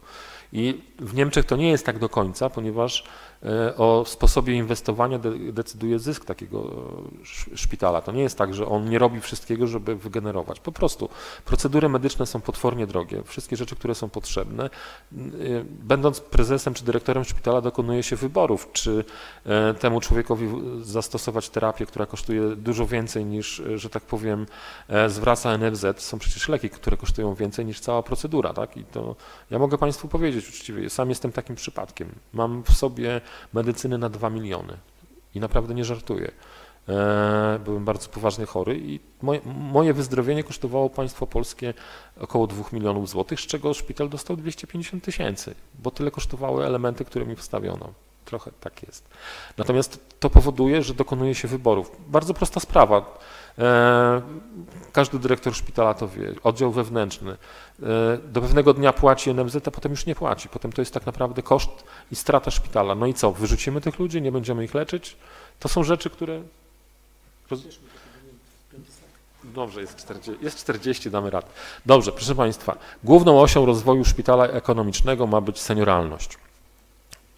Rzeczy, które dotyczą usług niemedycznych, to jest tak naprawdę... E, to jest tak naprawdę element wspomagający, pozwalający na to, żeby dojść do pełnej, do, do pełnej funkcjonalności, jeśli chodzi o rozwój e, infrastruktury pod medycynę i do, pe, do pełnego rozwoju, jeśli chodzi o projekt senioralny. I właśnie jesteśmy tam. Mm, Regionalne Centrum Opieki Senioralnej i Medycyny Społecznej w Giżycku. E, projekt skierowany do seniorów, osób niepełnosprawnych, osób z chorobami przewlekłymi i opiekunów i rodzin tych osób. To tak naprawdę oddaje realne potrzeby tego, co się dzieje w tej chwili, jeśli chodzi o e, opiekę długoterminową i co, co najważniejsze, to jest projekt, który funkcjonuje. Żeby Państwo też mieli świadomość, że, że e, Pan Burmistrz i Pan Prezes przystąpili do projektu, który funkcjonuje e, już w tej chwili w Szczytnie. Dostał dofinansowanie i powodem przystąpienia i uzyskania synergii jest to, że im większa skala działania, tym e, większa skuteczność pomocy. A co ważniejsze, daje to powiedzmy dużo bardziej stabilny, dużo bardziej stabilny i długoterminowy sukces. I dlatego te porozumienie, które zostało zawarte w zeszłym tygodniu, dotyczy już nie tylko i wyłącznie Regionalnego Centrum w Giżycku, tylko dotyczy tak naprawdę budowania systemu dla krainy Wielkich Jezior Mazurskich. Na dzisiaj są to powiaty e, planowane, bo nie, nie, nie, we wszystkich to się będzie wydarzać. E, w pierwszej kolejności to jest Goldap, e, mm, nie, we, nie, Węgorze, nie, Węgorzewo, Gołdap, mówimy powiatami w tej chwili. Pisz, Giżycko, Olecko, już mówiłem, Mrągowo i Szczytno. I to jest tak naprawdę projekt dla tych, dla tych siedmiu powiatów. Przyspieszenie wynikało z tego, że projekt Szczytnie, który funkcjonuje już dwa lata, mm, otrzymał dofinansowanie, a ponieważ w tej chwili zostały już uruchomione środki z EFEZ-u, w związku z tym e, łącząc siły z, ze Szczytnem, dostajemy punkty za, czy Państwo będą dostawali punkty za e, kontynuację co jest tak naprawdę równoznaczne z e, dostaniem tych punktów na, dostaniem, dostaniem tych, e, tego finansowania. I teraz finansowanie dotyczy nie tylko infrastruktury, ale dotyczy przede wszystkim działalności, bo tak jest skonstruowany efekt, że maksymalnie 35% tego e, dofinansowania może pójść w infrastrukturę, natomiast reszta jest tak naprawdę sfinalizowaniem konkretnych usług. Spełnia to rozwiązanie w 100% właśnie założenia Efezu. Po, po, to było budowane i po to było testowane przez dwa lata, po to, żeby właśnie być pewnym, że, że to jest działanie, które jest e, e, kompatybilne, tak się to ładnie nazywa. Proszę Państwa, dzisiaj jeśli ktoś trafi do szpitala jest osobą niepełnosprawną lub mówiąc krótko e, seniorem, to tak naprawdę nie dostanie pomocy, nie ma nikogo, kto zarządzi jego dalszym funkcjonowaniem. Po prostu nie ma. Szpital nie, nie jest w stanie współpracować z POZ-em, szpital nie jest w stanie e, współpracować z pomocą społeczną i mogą Państwo mieć przykłady, w których dzieje się lepiej lub gorzej, ale strukturalnie, instytucjonalnie nie ma takiego połączenia. Nie funkcjonuje coś takiego. I nie jest to państwa wina, nasza wina, moja wina czy kogokolwiek, tylko tak jest ten system zbudowany. Oddzielnie jest pomoc społeczna. I mimo, że państwo mają piękną sytuację, własny szpital, własną pomoc społeczną, nie ma takiego połączenia, nie funkcjonuje. Ktoś to musi zrobić. I, i tym tak naprawdę ma się właśnie zająć Regionalne Centrum Opieki Senioralnej i Medycyny Społecznej. I teraz to ono tak naprawdę zajmie się tym, żeby osoba, która wyjdzie ze szpitala, to jeszcze przed wyjściem miała swoją drogę indywidualną e, opieki. Jeśli już jest objęta programem i funkcjonuje, żeby od początku do końca miała napisany indywidualny program, który tego, co potrzebuje. I mogą Państwo wierzyć albo nie, ale rzeczywiście w Szczytnie tak to działa. Jest asystent, który opiekuje się daną osobą, ma połączenie e, z nią telefoniczne na stałe w oparciu o telemedycynę, a Państwo mają projekt telemedycyny u siebie. I to nie tylko w mieście, ale też w gminie, w większości gmin wokół. I to jest wykorzystywane. Natomiast chodzi o to, żeby był integrator, który nie tylko świadczy usługi, ale tak naprawdę zaprasza wszystkich, którzy są na tym rynku usług, do tego, żeby wspólnie to robić bo tylko takie rozwiązania dostają gigantyczne pieniądze. Te projekty, w których uczestniczyliśmy, bo był test poprzedniej, e, e, poprzedniej tej perspektywie przez ostatnie dwa lata i 12, 12 projektów w województwie łódzkim i 14 pomorskim było z tego finansowane. To na usługi było po 12 milionów po dwa razy, czyli po 24 niektóre powiaty dostały na funkcjonowanie takiego systemu, tylko w, w wyłonionej mniejszej części. O to chodzi, proszę Państwa, żeby obszar medyczny, obszar środowiskowy, pomocniczy miał swojego e, kierownika, realizatora. Jeśli potrzebna jest kompetencja już działającej organizacji, czy, czy NGO-sa, czy, czy kogoś innego, żeby tak naprawdę ktoś brał odpowiedzialność za ten indywidualny program. I to jest tak naprawdę, to jest slajd kwintesencja, nie? według mnie oczywiście. E, co jest ważne, co musi się wydarzyć, to musi się wydarzyć współpraca pomiędzy samorządami. No i udało się nam tutaj, nie ma już niestety pana wójta gminy Giżycko, e, przekazać tę ideę dwóm gminom. E, mieliśmy spotkanie za, to trzeba uczciwie powiedzieć, pan starosta doprowadził do takiego spotkania pod swoim szyldem wszystkich gmin. Ponieważ z doświadczenia wiemy, że wdrożenie większej ilości na starcie gmin rodzi bardzo duże problemy i nie da się zbudować szybko kompetencji wewnętrznych i e, organizacyjnych, żeby nie ponieść e, porażki. W związku z tym ruszamy z trzema gminami i ten list intencyjny, który Państwo przed chwilą widzieli, to jest właśnie porozumienie w tej sprawie. Tak? Jest już że tak powiem, jesteśmy bardzo zaawansowani. Zaraz przejdziemy do tego, jakie są możliwe e, aspekty współpracy. Natomiast nie chodzi o to, że ktoś ma e, zmonopolizować usługi. Chodzi o to, żeby ktoś zarządzał tymi usługami dla tego człowieka czy dla e, danej gminy, żeby był plan. I oczywiście to nie oznacza, że wszystko naprawimy, bo to jest cudowne rozwiązanie. To oznacza tylko tyle, że poza powiedzmy brakiem rozwiązań systemowych tworzy się właśnie rozwiązanie, które, które daje szansę temu człowiekowi, a dwa, to jest, tu będę brutalny, to jest łatwo spieniężalne, tak? bo łatwo jest przewidzieć ilość osób, która będzie powiedzmy e, objęta takim e, działaniem i łatwo stosunkowo, bo to nie znaczy, że to jest praca, siadamy, piszemy i dostajemy dotację, to, to trzeba się wykazać. Natomiast rzeczywiście start już nastąpił bo te porozumienie, które przed chwilą zawarliśmy, jest efektem e, kilkumiesięcznej pracy i pan wójt w tym też uczestniczył, każdy z nas. E, to, to, nie jest, e, to nie jest tak, że właśnie się spotkaliśmy i zaczynamy. Rzeczywiście za chwilę jeszcze przejdę do możliwych form współpracy, bo to też jest jakby element istotny. Natomiast pieniądze, które występują, łączymy w jeden worek.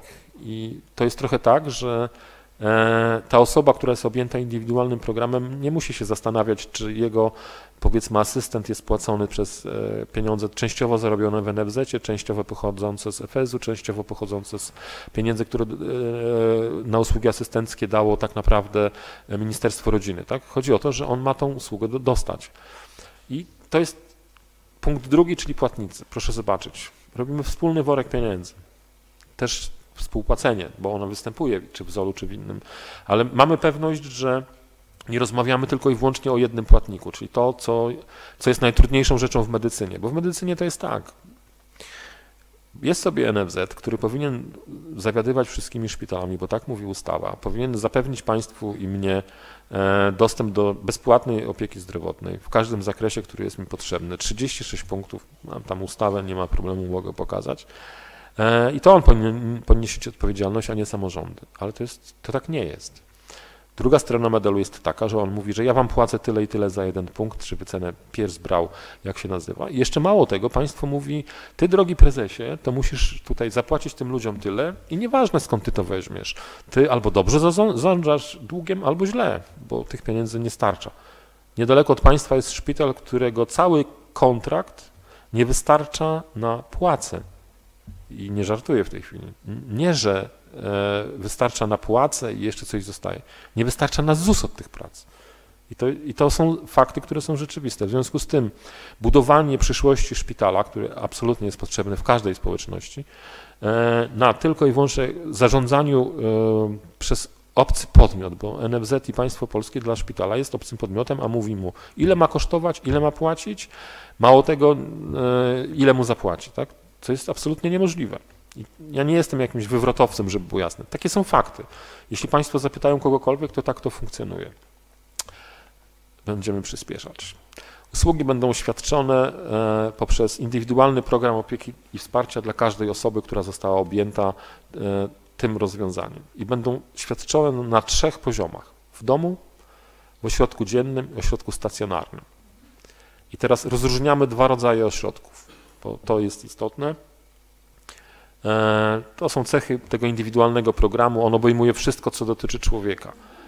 E, jeśli chodzi o działalność senioralną, to tak jakbyśmy robili klona działalności szpitala, ale przywiązaną właśnie do działalności senioralnej. Co to znaczy? To znaczy, że ZOL jest tylko elementem, do którego ten człowiek, jeśli potrzebuje, bo idea jest bardzo prosta. Człowiek najlepiej czuje się w domu i należy zapewnić mu jak najwięcej usług w domu. I na te usługi i NFZ i wszystkie, każdy po kolei tak naprawdę daje pieniądze. Jeśli ten człowiek chce wyjść z tego domu, to powinien trafić do środka dziennego, w którym spędzi czas, dostanie pomoc. Jeśli jego stan jest taki, że potrzebuje działalności, czy powiedzmy usług opiekuńczych, czy medycznych wspierających, na przykład wychodząc ze szpitala, nie zawsze da się przejść, nie, nie, każdy potrzebuje iść do, do Zola, ponieważ ma więcej niż 40 stopni w skali Bartela, ale dalej ucięli mu nogę, dalej nie umie chodzić o kulach. Dalej nie, nie, nie umie zawiązać sobie, za przeproszeniem, tej jednej sznurówki przy tych kulach, prawda? Dalej potrzebuje rehabilitacji, ale nie należy mu się ona. W związku z tym stworzenie i nie opieranie tego na, na, na, powiedzmy, na publiczne pieniądze przeznaczone na służbę zdrowia spowoduje, że on nie dostanie tej usługi, a on jej potrzebuje. I teraz doświadczenie. Opowiem Państwu doświadczenie realne do sprawdzenia. Polecam Wielbark albo Pasym. To są miejsca, w których to przeżyliśmy dzięki tej indywidualnej obsłudze czy opiece tych osób, takim podejściu asystenckim, ponieważ gro tych osób zostało objętych w terenach e, lesistych, zaczęli chodzić na grzyby po pierwszym roku. I to jest jeden z większych sukcesów, bo oni przez całe lata nie byli w stanie, bo się bali, bo tak naprawdę nie potrafili sobie e, przekonać. Następnym elementem było to, że 20% z nich, tych, którzy poszli do tego lasu w tamtym roku, w ciągu tego roku powiedziało, że chce chodzić do klubu seniora, do SDS-u i bardzo dobrze. Bo przecież to o to chodzi, tak? Żeby oni wyszli z tego z domu i żyli normalnie. Nie żeby byli, e, że tak powiem, ten. Co ważniejsze, część tych rodzin jest szczęśliwa, ponieważ systemowo, chociażby przez ten cały dzień, kiedy te osoby trafiają do tego miejsca, nie muszą się A martwić, a B nie muszą się opiekować. Bo największym e, powiedzmy może nie przegranym. Największym ukaranym przez los jest rodzina, która nie, poza swoim rozwojem, poza zapewnieniem swojego bytu e, samemu siebie, musi poświęcić wszystko inne, ponieważ nie ma kiedy, opiekuje się i to są naprawdę trudne rzeczy i trudne wybory. Dobrze, panie, panie burmistrzu. Ośrodki, które będą w każdej, w każdej gminie będzie Gminne Centrum Opieki Senioralnej i Medycyny Społecznej. Czyli to, tak jak nazywa się ten rozwiązanie, to jest miejsce, w którym tak naprawdę e, będzie udzielana pomoc asystencka i w którym, jeśli będzie taka potrzeba, mm, to e, mówiąc krótko, będzie e, miejsce, gdzie będzie mógł spędzić czas, dostanie ofertę, nazwijmy to zbliżoną do SDS-u albo trochę inną w zależności od miejsca. Z doświadczenia powiedzmy, to jest najprostsza formuła do tego, żeby powiedzmy ten człowiek rzeczywiście, no bo nie chodzi o to też, żeby skanibalizować e, domy seniorów, czy e, powiedzmy zarzucić ich ewentualnymi klientami, tylko żeby wytworzyć, żeby ten człowiek, który potrzebuje wyjść, o tak powiem, e, nie, nie trafił w próżnię, tak, żeby rzeczywiście tą, tą ofertę zbudować. Drugie to jest stacjonarne Centrum Medycyny Społecznej i Senioralnej. To tak naprawdę jest coś, co jest właśnie ani szpitalem, ani opieką wytchnieniową. Formuła absolutnie autorska, w tym sensie, że uzupełniająca lukę.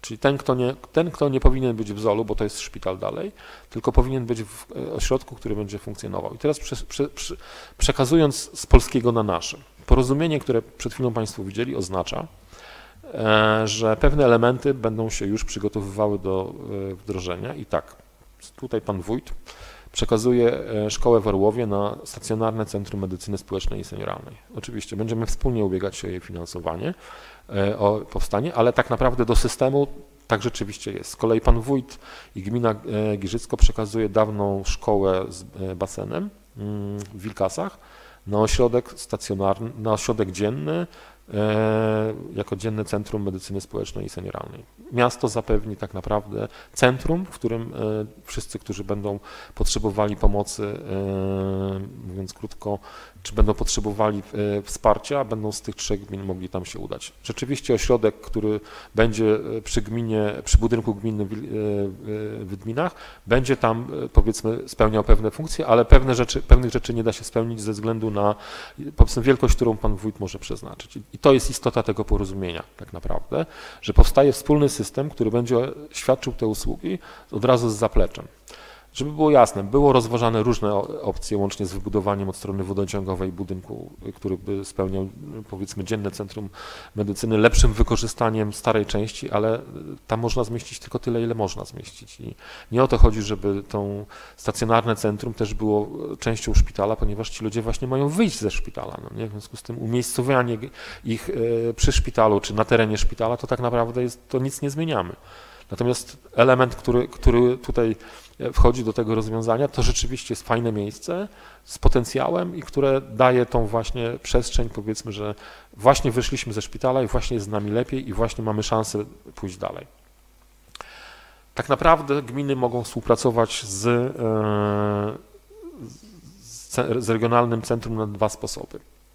My dzisiaj nie rozstrzygamy w tym porozumieniu, czy to będzie pierwszy zespół, czyli tak naprawdę prowadzenie przez e, szpital, e, powiedzmy, ośrodka gminnego w formie połączonych trzech, trzech gmin, czy, bo jest takie rozwiązanie i nad nim też pracujemy, żeby było jasne, to jest zbudowanie na bazie trzech gmin Centrum Usług Społecznych. Pan prezydent stworzył taką ustawę, ona daje bardzo duże możliwości i tak naprawdę te projekty, które były realizowane w województwie łódzkim, wszystko to są centra usług społecznych. Tak to funkcjonuje, ponieważ dofinansowanie na to jest gigantyczne. To, to, to jest źródło pieniędzy, one zostały wpisane do FSU+, i e, to jest jeden z powodów, a po drugie tak naprawdę rzeczywiście w ten sposób najłatwiej wyko wykorzystać, e, że tak powiem, E, nie tylko finansowanie, ale zapisy tej ustawy. A zapis mówi tak, to jest paragraf 7 punkt 5, że Centrum Usług Społecznych może w formie bezprzetargowej zostać przekazane,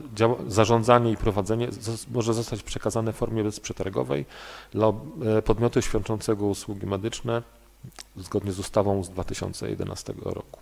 Co oznacza, że to jest trwały związek ponieważ zarządzającym będzie regionalne centrum jako dział e, szpitala, a jednocześnie samorządy w tym uczestniczą i zarządzają. I na dzisiaj w trakcie prac zostało uznane, że być może, być może, że tak powiem, jest to najlepsze rozwiązanie, ale co do ostatecznego kształtu, czy tak jest i czy tak będzie, będziemy informowali, jak to będzie postanowione. Na ten moment rzeczywiście e, wydaje się to być najbardziej racjonalnym kierunkiem. Tym niemniej. A po co za proces polityczne? Ale to, to jest właśnie skierowane do samorządu.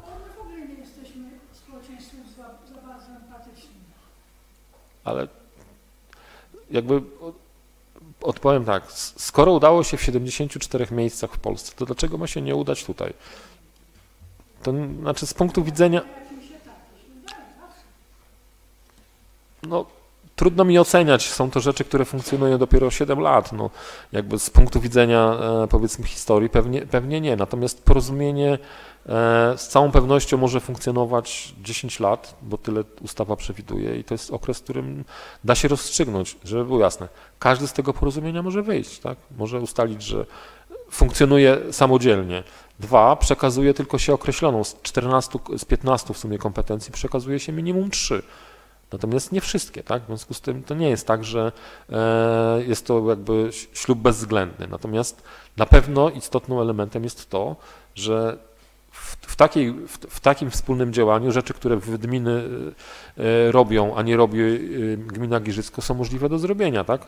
Jeśli powiedzmy taka prosta, prosta rzecz, tak? Są, są, są prost, pro, proste programy pomocowe, które wymagają tylko i wyłącznie, żeby określona ilość osób znajdowała się w określonej społeczności. Ale gminy czy gmina e, Giżycko nie posiadają takiej ilości. Miasto posiada, tak? I dzięki temu miasto będzie je prowadzić, a beneficjentem jest jedna i druga gmina, tak? A są e, rzeczy, które robi gmina Wydminy czy gmina Giżycko, których miasto nie robi, ponieważ e, jakby ogarnięcie tego też jest trudne, tak? I, i to jakby, powiem Państwu tak,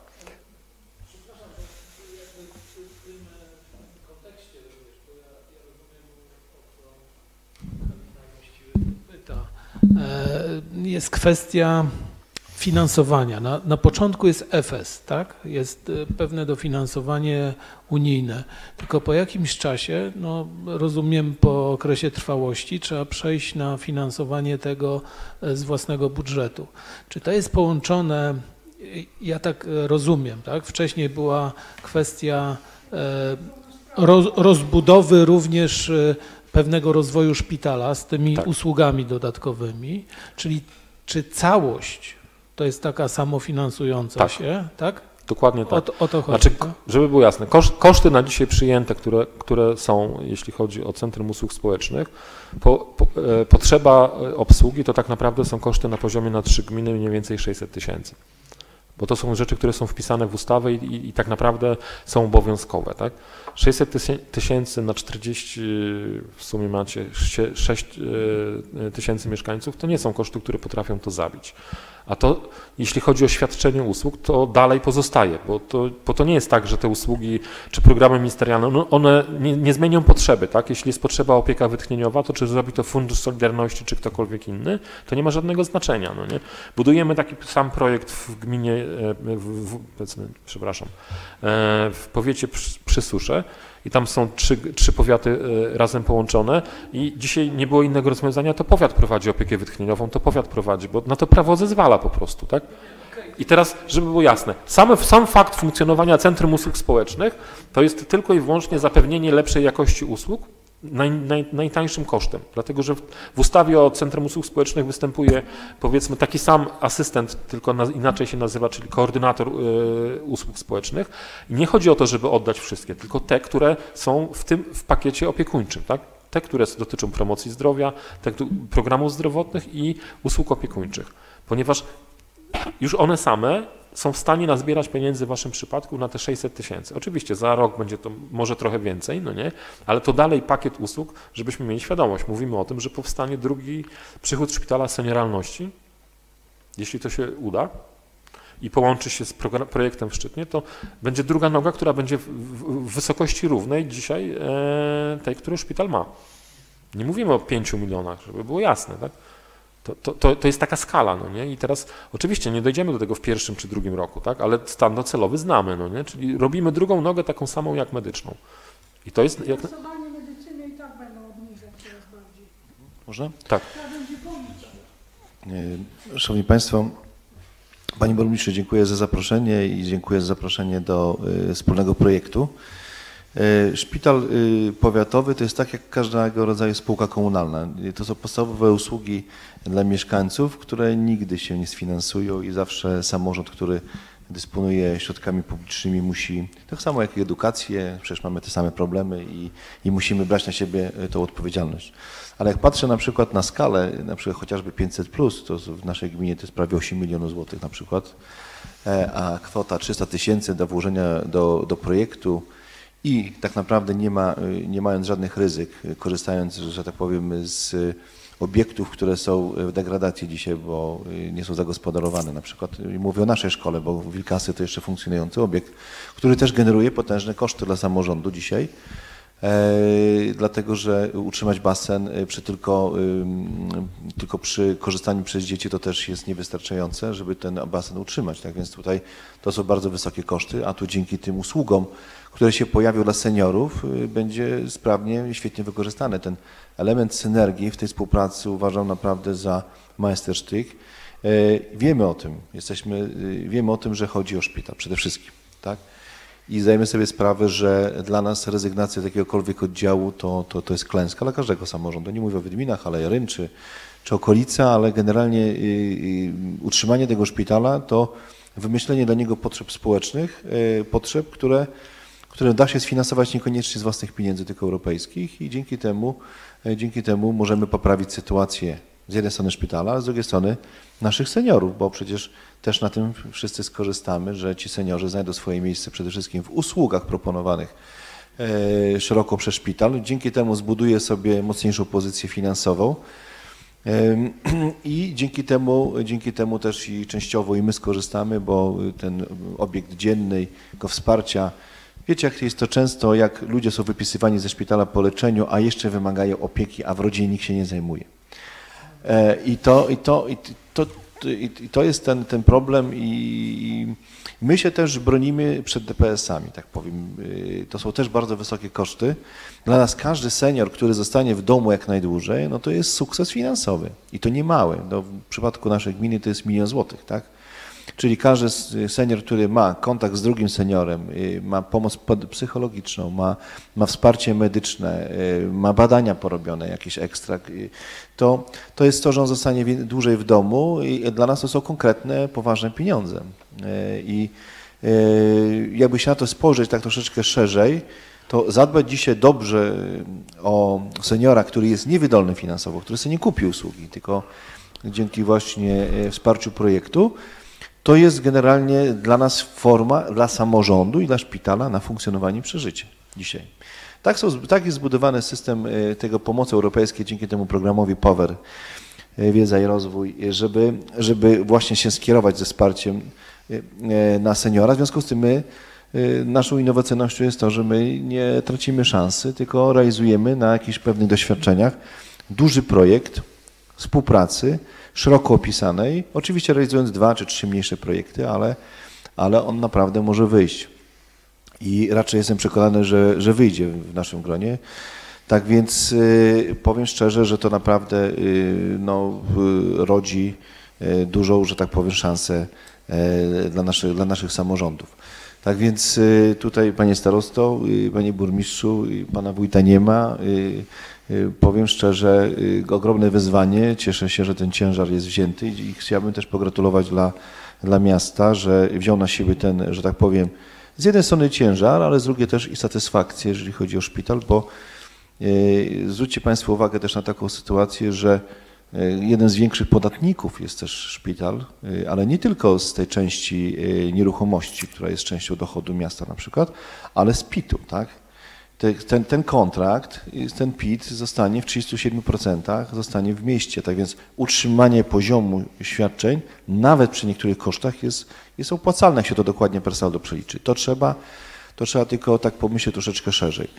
I y, ja wiem, że czasami zdarzają się y, koledzy samorządowcy niedojrzali, którzy nie chcą, to nie moje, nie będę się w to włączał, nie będę się to y, reagował. E, akurat w naszym powiecie nie ma takiej sytuacji. Mamy, akurat są, jest, są doświadczeni koledzy e, i takiej sytuacji nie ma, ale w wielu przypadkach tak jest. To są nie moje zabawki, zabierzcie, a problem wróci. Problem wróci i wtedy trzeba wtedy pieniądze inwestować mm, w coś nowego, żeby stworzyć. A coś jest dobrego, utrzymać te oddziały, to uważam, że, że to będzie wielka sprawa. Zobaczcie, jak się to dzieje w innych e, częściach kraju, gdzie te szpitale, że tak powiem, gasną. Samorząd nie za bardzo, a pozbędziemy się problemu, y, nie dołożymy pieniędzy, a później, kiedy przychodzi czas na tego, to już będzie za późno. Tak więc tutaj e, chylę czoła jesteśmy zaangażowani, łącznie nawet wiemy o tym, że będzie nas to kosztowało łącznie z finansowaniem, ale to są naprawdę w skali budżetu niewielkie środki w stosunku do, do tego, co może naprawdę osiągnąć ten projekt. E, wiemy o tym, że największym donatorem będzie szpital, ale nas to naprawdę cieszy, a nie zniechęca, tak? bo to jakby popatrzeć na korzyści tak e, per saldo, tak? finansowe, e, gdzie tak naprawdę nie chodzi w ogóle o pieniądze, tak? tylko chodzi o to przetrzymać, utrzymać jak najwyższy poziom świadczeń. Przecież ja niespełna miesiąc temu też byłem, że tak powiem, beneficjentem szpitala, tak mi się akurat trafiło, że musiałem trafić i pani się mnie pyta, no ale dlaczego panie pójdzie pan tutaj do nas przyjdzie do szpitala? Przecież teraz mamy stres e, związany e, z tutaj z leczeniem pana. Ale ja mówię, no wie pan jak się mści, takie szukanie gdzieś tam po zewnątrz, uciekaniem i tak dalej, to też się mści. To, to, to powinno być pierwsze instynktowne. Jadę tutaj do siebie i, i, i, tyle po prostu, tak, tak uważam. Tak więc gratuluję, dziękuję za zaproszenie do tej współpracy. Pewne doświadczeniami się podzielimy, a mamy doświadczenia również, y, jeżeli chodzi o prowadzenie przedsiębiorstw społecznych.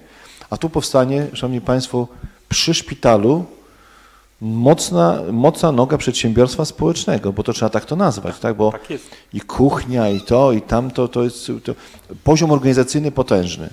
Tutaj mówię, y, tutaj y, wsparcie z naszej strony jest. Tak więc tutaj naprawdę, naprawdę widzę, widzę że to jest ogarnięte.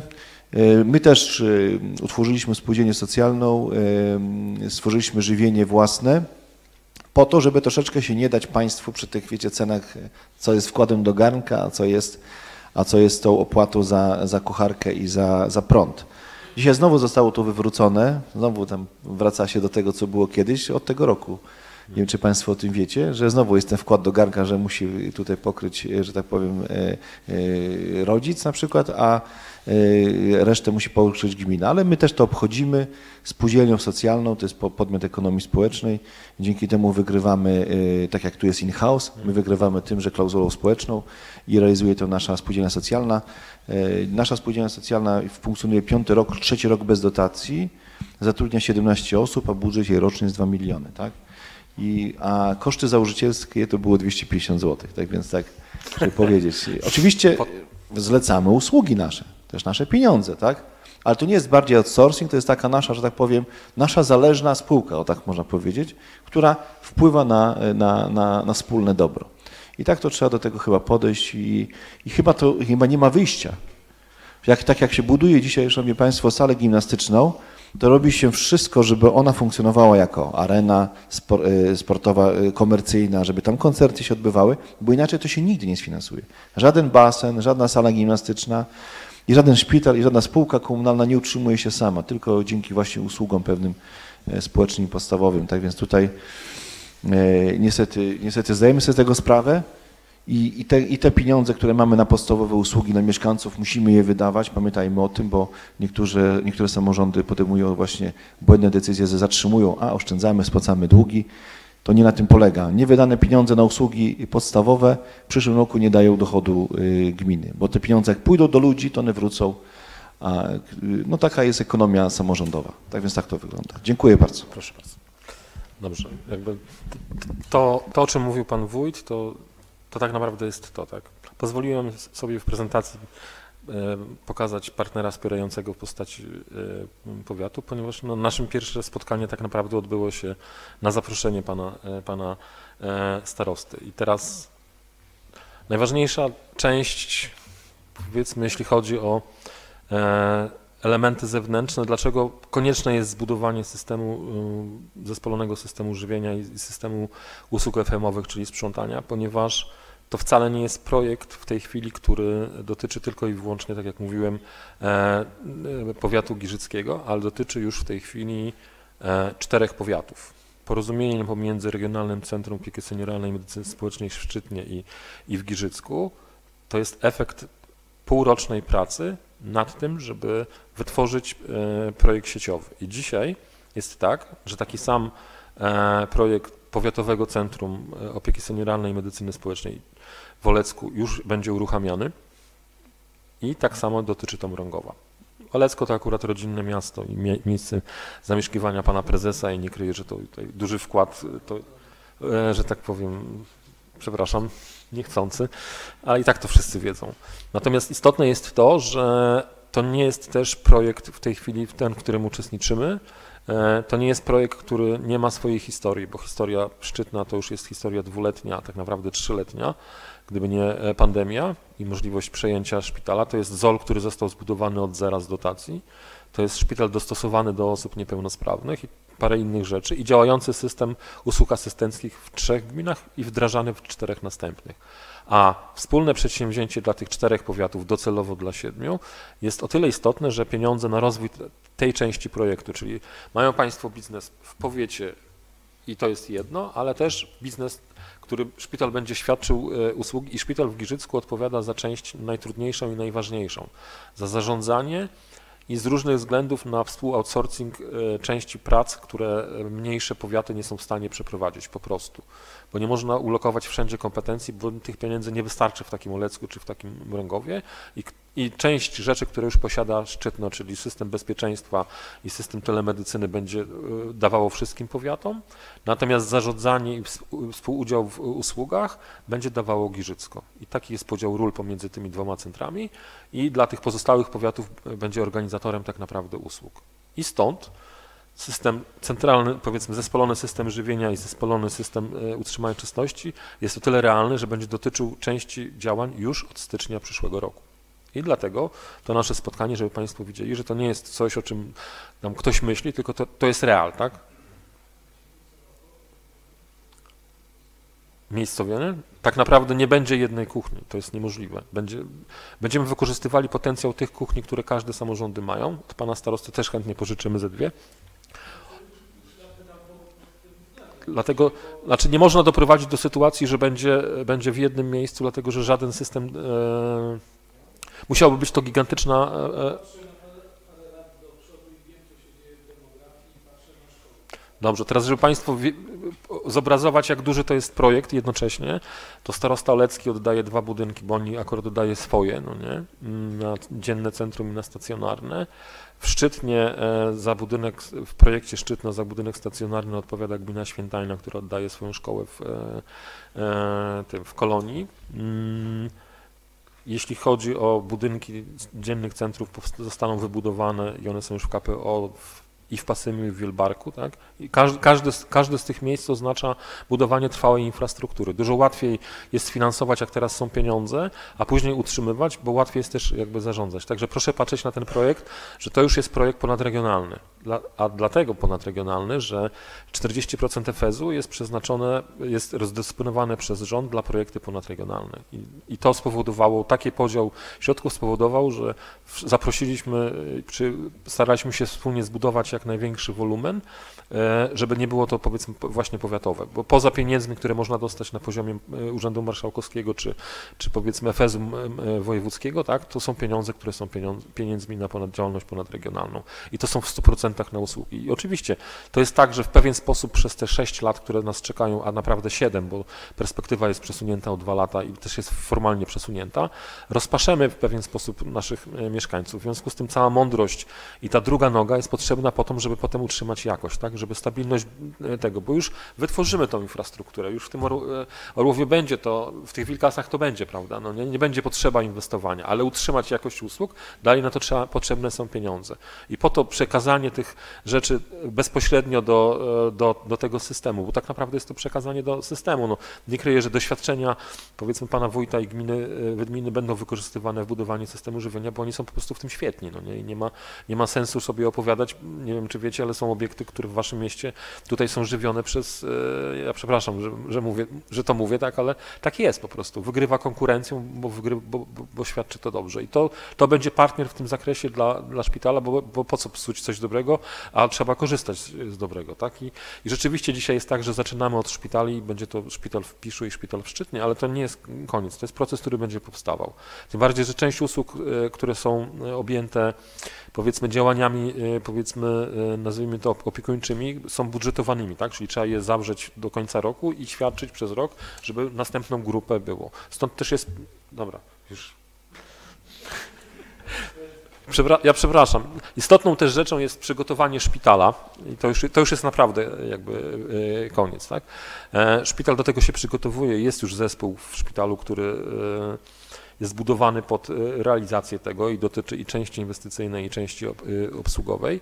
I istotne jest też ustabilizowanie sytuacji szpitala. Trwają prace nad tym, żeby szpital miał e, płynność i myślę, że to zupełnie niedługo będzie, będzie pan prezes w stanie Państwu powiedzieć.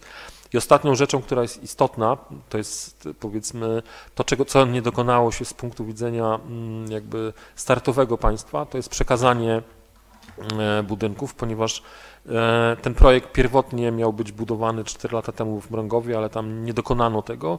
W związku z tym wszystkie instytucje finansujące, łącznie z unijnymi, robiąc e, badanie, e, wyrzucały te projekty i tyle. No nie? Państwo też zostali wyrzuceni. Tylko dlatego, że kapitały własne były ujemne. Z projektu dofinansowania na oddział zakaźny, który należał się szpitalowi w Giżycku jak Psybuda, bo po prostu go ma i jest taka potrzeba. Ale niestety to spowodowało. Natomiast mam bardzo dobrą wiadomość, udało się wyśledzić wszystkie działania prawne i nie grozi temu tytułu, z tego tytułu gminie żadna opłata, ani VAT, ani podatek dochodowy. Jest taka interpretacja, muszę się przyznać, e, udało się ją zdobyć u sąsiadów przez przypadek, no nie, nie ma w tym moim żadnej zasługi, ale to jest, to tak jest, no nie, czyli z punktu widzenia państwa jest sytuacja mega bezpieczna. Sytuacja szpitala dzisiaj to nie mnie opowiadać, Natomiast rzeczywiście te aspekty przygotowania szpitala są bardzo zaawansowane i one są bardzo realne. Ja, ja wiem, że Państwo patrzą przez pryzmat historii, ale to gdyby nie były tych trudnych czasów i problemów z, z tą częścią pod tytułem e, powiedzmy podniesienie pensji i nie danie na to pieniędzy, to szpital trzy miesiące temu byłby już gotowy. Ale to już nie zmienia tej jakby sytuacji. Te prace są naprawdę bardzo zaawansowane w momencie, w którym powiedzmy uda się je doprowadzić, szpital będzie stabilny, jeśli chodzi o przepływy, nie mówię o zyskach, tak, bo firmy nie upadają dlatego, że mają stratę, tylko dlatego, że nie mają pieniędzy na obrót. I, i to. Tak, widzę mnóstwo. Wszędzie, wszędzie dotyczy tego samego e, tego. Tam, gdzie wystąpiły problemy w przygotowaniu takich projektów, zawsze największym problemem był człowiek po prostu. I to, I to nie dlatego, że powiedzmy był przeciwny czy, czy ten, tylko po prostu często przekazaniem e, powiedzmy pewnych rzeczy związanych z funkcjonowaniem czy, czy z tym było najtrudniejsze. No.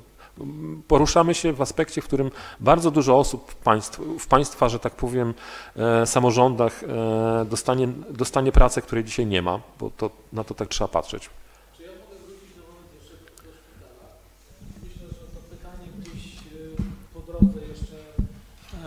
E, gdzieś tam się pojawi, bo e, wśród e, tych oddziałów, które mają powstać, no to hmm.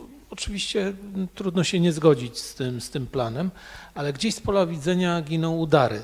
Na pewno się w przyszłości pojawi to pytanie. Nie, nie, neurologia, tylko nie było. Nie, to, to, właśnie myślę, że warto uzupełnić te, przy, przy tej prezentacji o te udary, żeby wyodrębnić, że jednak ta nowa jakość, jednak nam tej neurologii, tak, tak, no, no właśnie.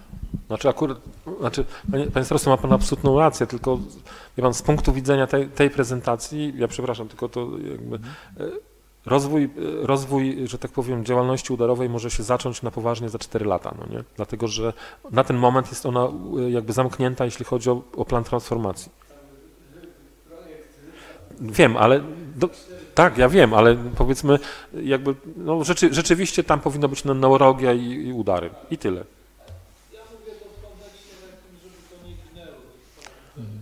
Jasne. Szanowni Państwo, za chwilę przejdziemy do bloku pytań, krótko podsumowując, więc celem tego spotkania było pokazanie naprawdę, staraliśmy się zrobić to w syntetycznej formie, czy jeszcze... Nie, nie, nie, już skończyłem. W syntetycznej formie efekt e, prac około roku, czyli koncepcyjnego podejścia do tego i badania możliwości, doświadczeń innych, e, szukania e, partnerów do współpracy i to się w dużej mierze już udało za co, za co serdecznie dziękuję. Dziękuję również e, panu staroście, który bardzo, trzeba to powiedzieć jasno i oficjalnie, e, bardzo czynnie włącza się w to, chociaż tak, tak, tak naprawdę no, adresowane to było do gmin, nie? prawda, że to do samorządów gminnych, ale cieszy nas, że ten partner wspierający, jak na, nazwaliśmy tutaj w postaci samorządu powiatowego, występuje i tak powinno chyba być już do, do końca, bo sporo z tego powiatowych, e, powiatowych kompetencji będziemy e, chcieli na, pewno zaczerpnąć. E, podsumowując już tak e, to, co dzisiaj było pokazane, więc musicie Państwo jakby przyjąć tak, taki schemat, że prezentacja dzisiaj pokazywała tak, rozwój infrastruktury medycznej, tak, czyli rozbudowę szpitala i nowe, nowy zakres i jakość usług, przeniesienie do starej części budynku tych e, usług, które nie wymagają takiego reżimu jak te, te powiedzmy stricte medyczne, szpitalne i administracji, stworzenie poradni w budynku dzisiejszej administracji, czyli zupełnie jakby ten szpital zmieni swoją mm, e, taką strukturę organizacyjną tak, wewnątrz tego, tego szpitala, a oprócz tego dobudowanie tych dwóch nóg, jednej takiej, która jest bardzo wrażliwa społecznie i pożądana, to znaczy ta opieka senioralna osób przewlekle chorych i niepełnosprawnych i e, ta noga trzecia, czyli usługi pozamedyczne, to mówiliśmy o tym żywieniu, sprzątaniu tak, bądź innych i tylko taka duża, duży zakres działalności e, tego przedsiębiorstwa, tego szpitala gwarantuje mu względną, bo też nie wiemy, jak to w przyszłości będzie, względną bezpiecz, bezpieczną, stabilną sytuację. Stanie na jednej nodze przez płatnika E, państwowego, czyli przez NFZ, tak jak powiedział pan Jarosław, no jest to zarządzanie ciągle długiem, zarządzanie kryzysem, zarządzanie ciągłymi problemami i to można sobie pozwolić na to e, przejściowo. Natomiast e, nie może być to celem funkcjonowania takiej placówki, bo po prostu w pewnym momencie nastąpi przesilenie i no, upadłość, nie wiem, zamknięcie i tak dalej, odejście kadry. Więc to są, tak, takie scenariusze już były niejednokrotnie przerabiane, nie, nie mówię już na, u nas, ale w Polsce czy gdzie indziej. Więc e, my tutaj w tych trudnych czasach podjęliśmy się takich trudnych misji, liczymy po prostu na szeroką współpracę. A jeżeli macie Państwo jakieś pytania, to oczywiście pozostaje. Pan e, wiceprzewodniczący Jan Sekelko, prosimy może do mikrofonu, bo nie, nie, ale to, to jest później e, dokumentowane. Ale prosimy włączyć. Optymistycznie wszystko ładnie wyglądało. Tabelki przyjmą wszystko, e, prezentacje również, e, ale jest takie przysłowie, żeby e, wyjąć, to najpierw trzeba włożyć. Wspomniał Pan na początku, że to będzie tak mniej więcej proces trwał około pięciu lat, zanim to tak już naprawdę ruszy z kopyta. Ile samorządy muszą włożyć z własnego budżetu, patrzę tutaj na panią skarbnik, która jest najbogatszą kobietą w mieście, ale ona też będzie musiała tak docisnąć troszeczkę, żeby coś wycisnąć. To jest pytanie, ile? Wie pan, to- są założenia trochę Oczywiście hipotetycznie, mówimy o Dobrze. na razie w, hi- w sensie Znaczy- hipotetycznym. Dobrze, od- odpowiem panu tak. Projekt w Szczytnie, który jest porównywalny. Łatwo sprawdzić, bo dobudowano tam drugi szpital, nowy SOR, w tej chwili trwa remont e, piętra na, na ZOL. Oznaczał inwestycję samorządu na poziomie mm, zrealizowaną poprzez szpital, tak? czyli w formie umowy wsparcia tak naprawdę na poziomie 6 milionów. Ale to, to są pieniądze, które poszły w konkretne, e, że tak powiem, wkłady własne. Mm, Całość inwestycji to jest w tej chwili 44 miliony. E, To dużo, mało, nie wiem. Mm, Na razie, na ten moment, wszystkie pieniądze są, że tak powiem, e, finansowane poprzez umowę dziesięcioletnią finansowania i są e, obsługiwane przez szpital, ponieważ te inwestycje przyniosły nowe działalności, których wcześniej nie było. Może, może się zdarzyć, to jest dla niektórych pieniędzy dłużnych jest to czwarty rok, dla części drugi, a dla części dopiero będzie powstanie w tym roku fizycznie. E, Może się zdarzyć, że samorząd powiatowy fizycznie będzie musiał dopłacić około miliona złotych z tych sześciu, e, ale to jest raczej w perspektywie ostatnich trzech lat, ponieważ postanowiono, że rozwiązane zostaną przy okazji problemy, których szpital nie mógł rozwiązać przez lat bardzo wiele, czyli dostosowanie szpitala do wymogów PEPOSZ. To było bezcenne i samorząd łącznie z dyrekcją uznał, że dobrze, to w ramach dotacji na SOL i, ZOL i senioralność umieścimy jeszcze to zadanie ze świadomością, że to są, nie, są to koszty kwalifikowane, e, że da się tak naprawdę powiedzmy 20% tej inwestycji w dostosowanie kosztowało to 4 miliony złotych, e, wprowadzić milion złotych na dotację, reszta jest kosztem niekwalifikowanym. I rzeczywiście takie pieniądze w perspektywie 10 lat, e, tylko że to jest nowy szpital. To proszę pamiętać, że dodatkowy dochód, e, przychód to w tej chwili jest mniej więcej powiedzmy 27% tego, co było wcześniej. Mało tego, trafiło się tak, że rzeczywiście i nowy budynek i, o- i SOR były zamienione na szpital tymczasowy, w związku z tym dzięki temu szpital posiada e, rezerwy, które mają więcej niż 6 zer. Nie, nie jestem powierzony, żeby mówić. To jest, ale to jest przypadek, żeby było jasne. To jakby nie było zaplanowane działanie. Teraz odpowiadając na, na pytanie. Istotą tego projektu jest to, mm, żeby doprowadzić do sytuacji, i to nie jest tak, że 4 lata i będziemy dopiero coś mieli. Tak? E, Budowanie e, wspólne polega na tym, że pewne rzeczy okresowo na siebie może wziąć i jakby nie tyle sfinansować, co umożliwić realizację e, powiedzmy partner. I to, że nie będziemy budowali i czekali, aż wybudujemy ośrodek na ulicy Wodociągowej, tylko zaczniemy świadczyć usługi w Wilkasach, których przeróbka będzie kosztowała 350 tysięcy, a mamy to narysowane. Mało tego, e, powiedzmy gmina starała się o pieniądze już ad hoc, bo to był program, który był dofinansowywany e, już jakby miesiąc temu był składany wniosek, mimo że nie było jeszcze porozumienia, oznacza, że będziemy mogli świadczyć usługi i pozyskiwać pieniądze, nawet jeśli one wyjdą na zero już. Tak? To jest zmiana sytuacji, bo od 1 stycznia, bo tam już w tej chwili nie ma od- od- oddziału przedszkolnego i tam można jakby świadczyć usługi od ręki. Może nie będą jeszcze w optymalnym e, formule, tak? ale będą już przynosiły pieniądze, które może się okazać w marcu, że potrzebne, że każdy samorząd musi dołożyć po 100 tysięcy na przykład, no nie po to, żeby uruchomić jakiś e, e, projekt e, dofinansowania, ale budujemy re, relatywnie powoli. Szybko będziemy rozbudowywać szpital. I tu jest jakby prosta sytuacja, bo to nie my będziemy określać dynamikę dotacji, którą będziemy pozyskiwać. I nie jest tak, że te działania, które powodują, czy będą. Są pieniądze, które jeśli wszystko dobrze się zdarzy, a mamy podstawy tak e, wierzyć, na wkład własny na projekt rozbudowy szpitala pieniądze będą i to będzie umowa długoterminowa. To będą pieniądze dłużne, żeby było jasne, bo to nie jest tak, że ktoś da pieniądze szpitalowi. Nie można finansować tego typu projektów z dwóch dotacji, można tylko z jednej. No nie? W związku z tym to jest przewidziane.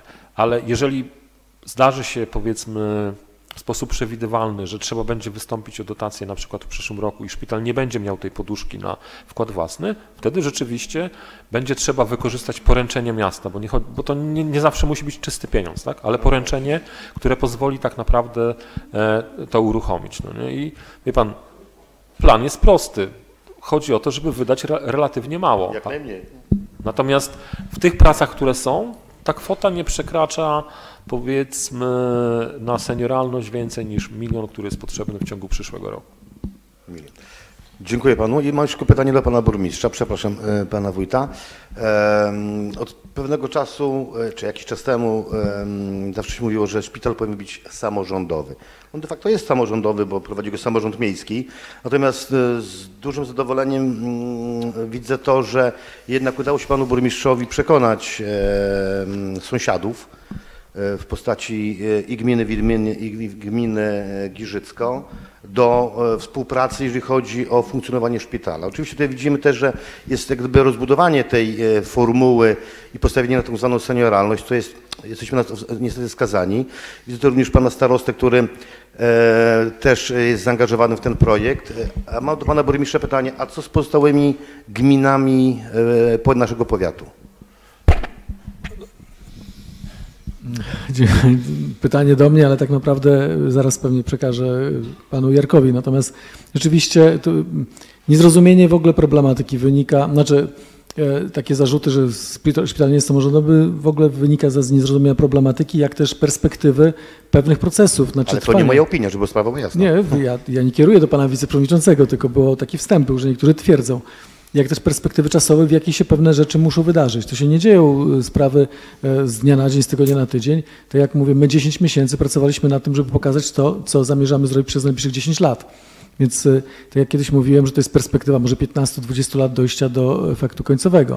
To jest, jeżeli chodzi o inne gminy, no to ja z, z radością powitam każdą gminę, która będzie chciała coś wnieść do tego systemu. Natomiast oddaję głos formalnie panu Jarosławowi, który pan, Państwu wytłumaczy, jak to obecnie i w przyszłości będzie wyglądało. Dobrze, zacznę od historii. To tak naprawdę Pierwsze nasze spotkanie odbyło się dzięki panu staroście, który pewnego pięknego dnia posiadał wszystkich wójtów i e, pana burmistrza na, na spotkaniu u siebie. I idea rozpoczęcia współpracy została wtedy przedstawiona w formie takiego krót, krótkiej prezentacji.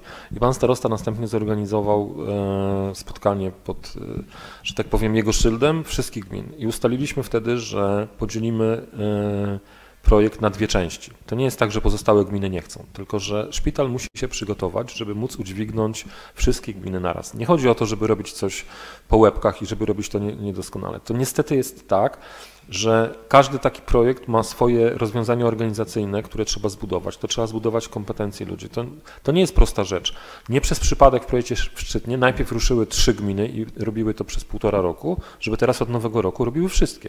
I dokładnie taki sam plan jest tutaj. Zaczynamy w trzy, budujemy, mamy już doświadczenia, wykorzystujemy doświadczenia tych gmin, a ponieważ to jest, e, było nie było prawie 60 parę procent e, populacji powiatu, tak, to dużo łatwiej jest potem dołożyć e, pozostałe pozostałe gminy.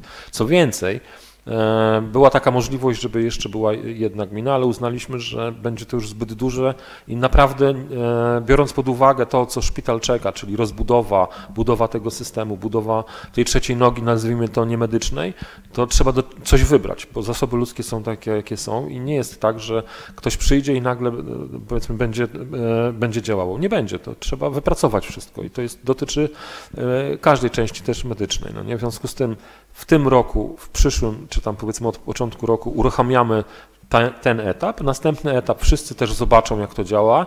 Będzie dużo łatwiej e, też, że tak powiem, uruchomić pozostałych. I to jest bardzo racjonalne, bo zabić, zabić że tak powiem, e, projekt jest bardzo łatwo, bo ktoś to musi zrobić, proszę pamiętać.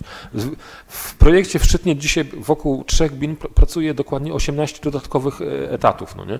To jest naprawdę sporo, ale nie mamy jeszcze otwartych ośrodków dziennych i, i, i, i stacjonarnych, tak? To, to, pokazuje jakby realno, nie? To ten projekt będzie generował w samym powiecie około, powiedzmy, myślę, około 100 dodatkowych miejsc pracy. To jest poważna sprawa, no nie? A tych ludzi trzeba znaleźć, wykształcić, y, nauczyć, to, to, to nie da się zrobić więcej.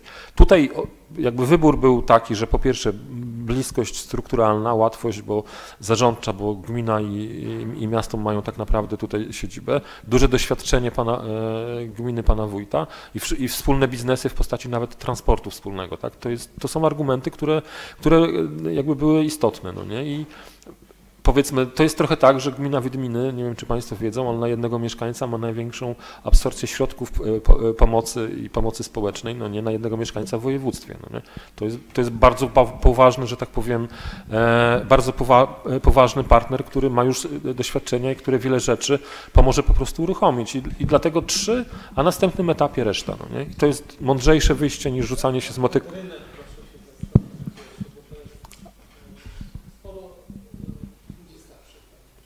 No tak, ale to akurat y, sytuacja jest prosta. To oni po, mm, powiedzieli, że potrzebują czasu na to, żeby w to No to jakby...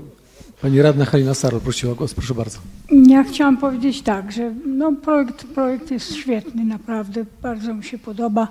Jest y, dobrze przemyślany, opracowany.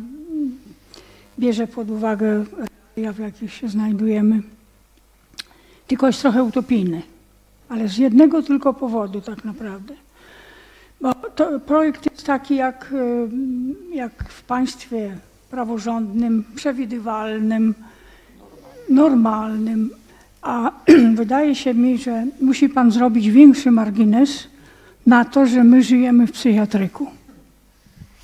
Wie Pani co, tak się składa, że z wykształcenia jestem psychologiem i pedagogiem opiekuńczo-wychowawczym. Skończyłem dwa fakultety na Kulu, więc e, odpowiem tak trochę żartobliwie. E, prawda jest taka, że ma Pani absolutną rację, tylko że moja jakby doświadczenia i pani i moje są następujące. Takie wariactwo trwa już 30 parę lat, co nie zmienia postaci rzeczy, że mimo wszystko coś się tam udawało i coś, coś funkcjonowało. I oczywiście, powiedzmy, ilość zagrożeń pewnie nie jesteśmy w żaden sposób sobie wyobrazić, ale dla... finansowanie opieki społecznej i do widzenia.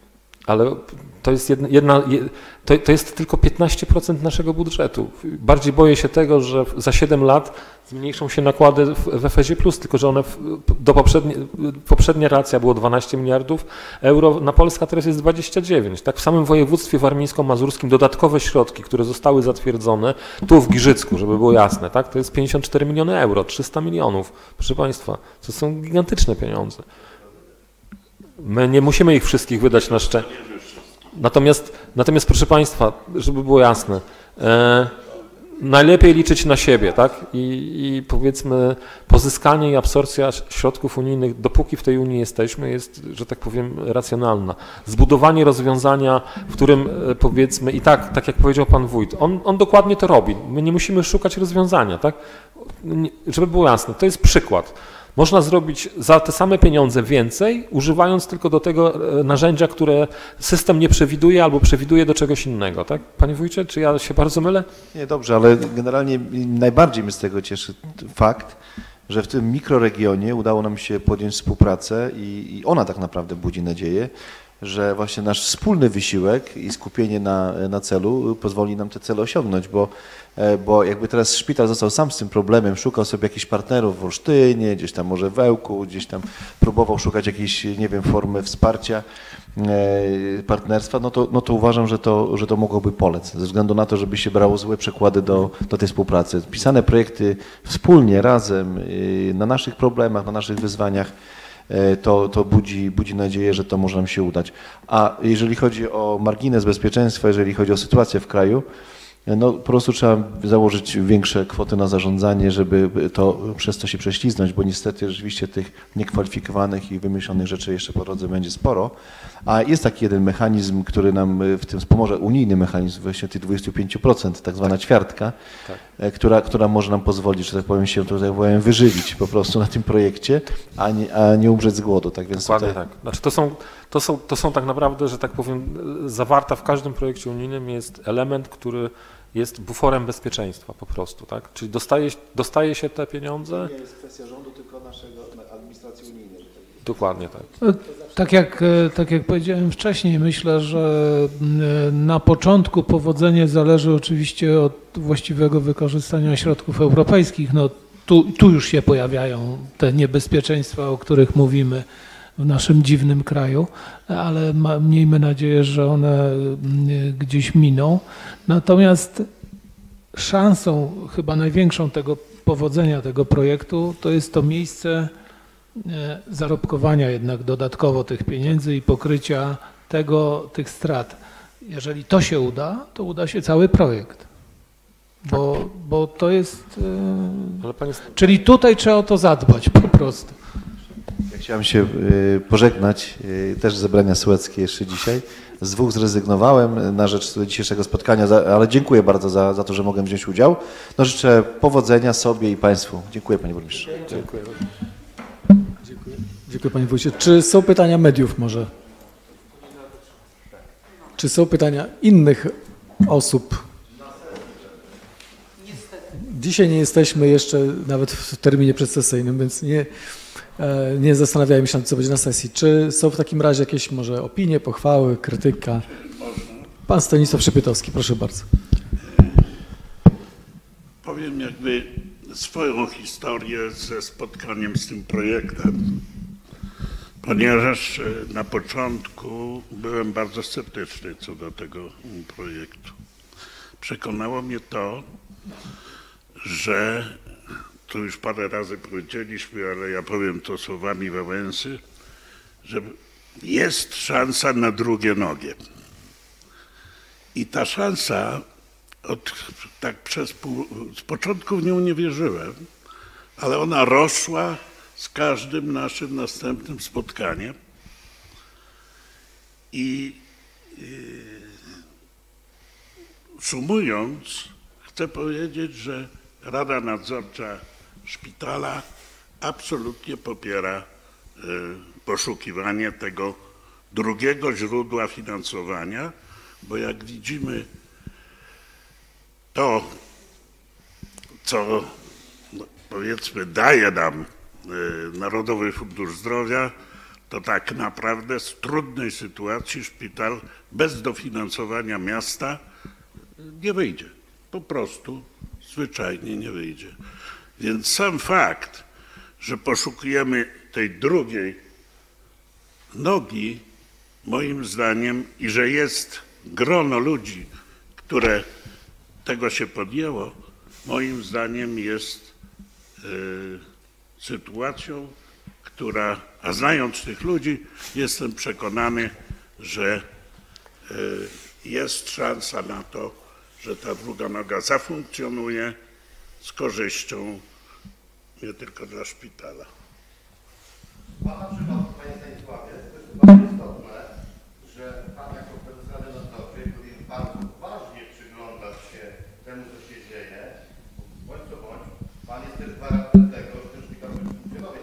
Oczywiście Pan e, Prezes. e, też e, ręczy swoją głową za to, co się dzieje. I majątkiem też.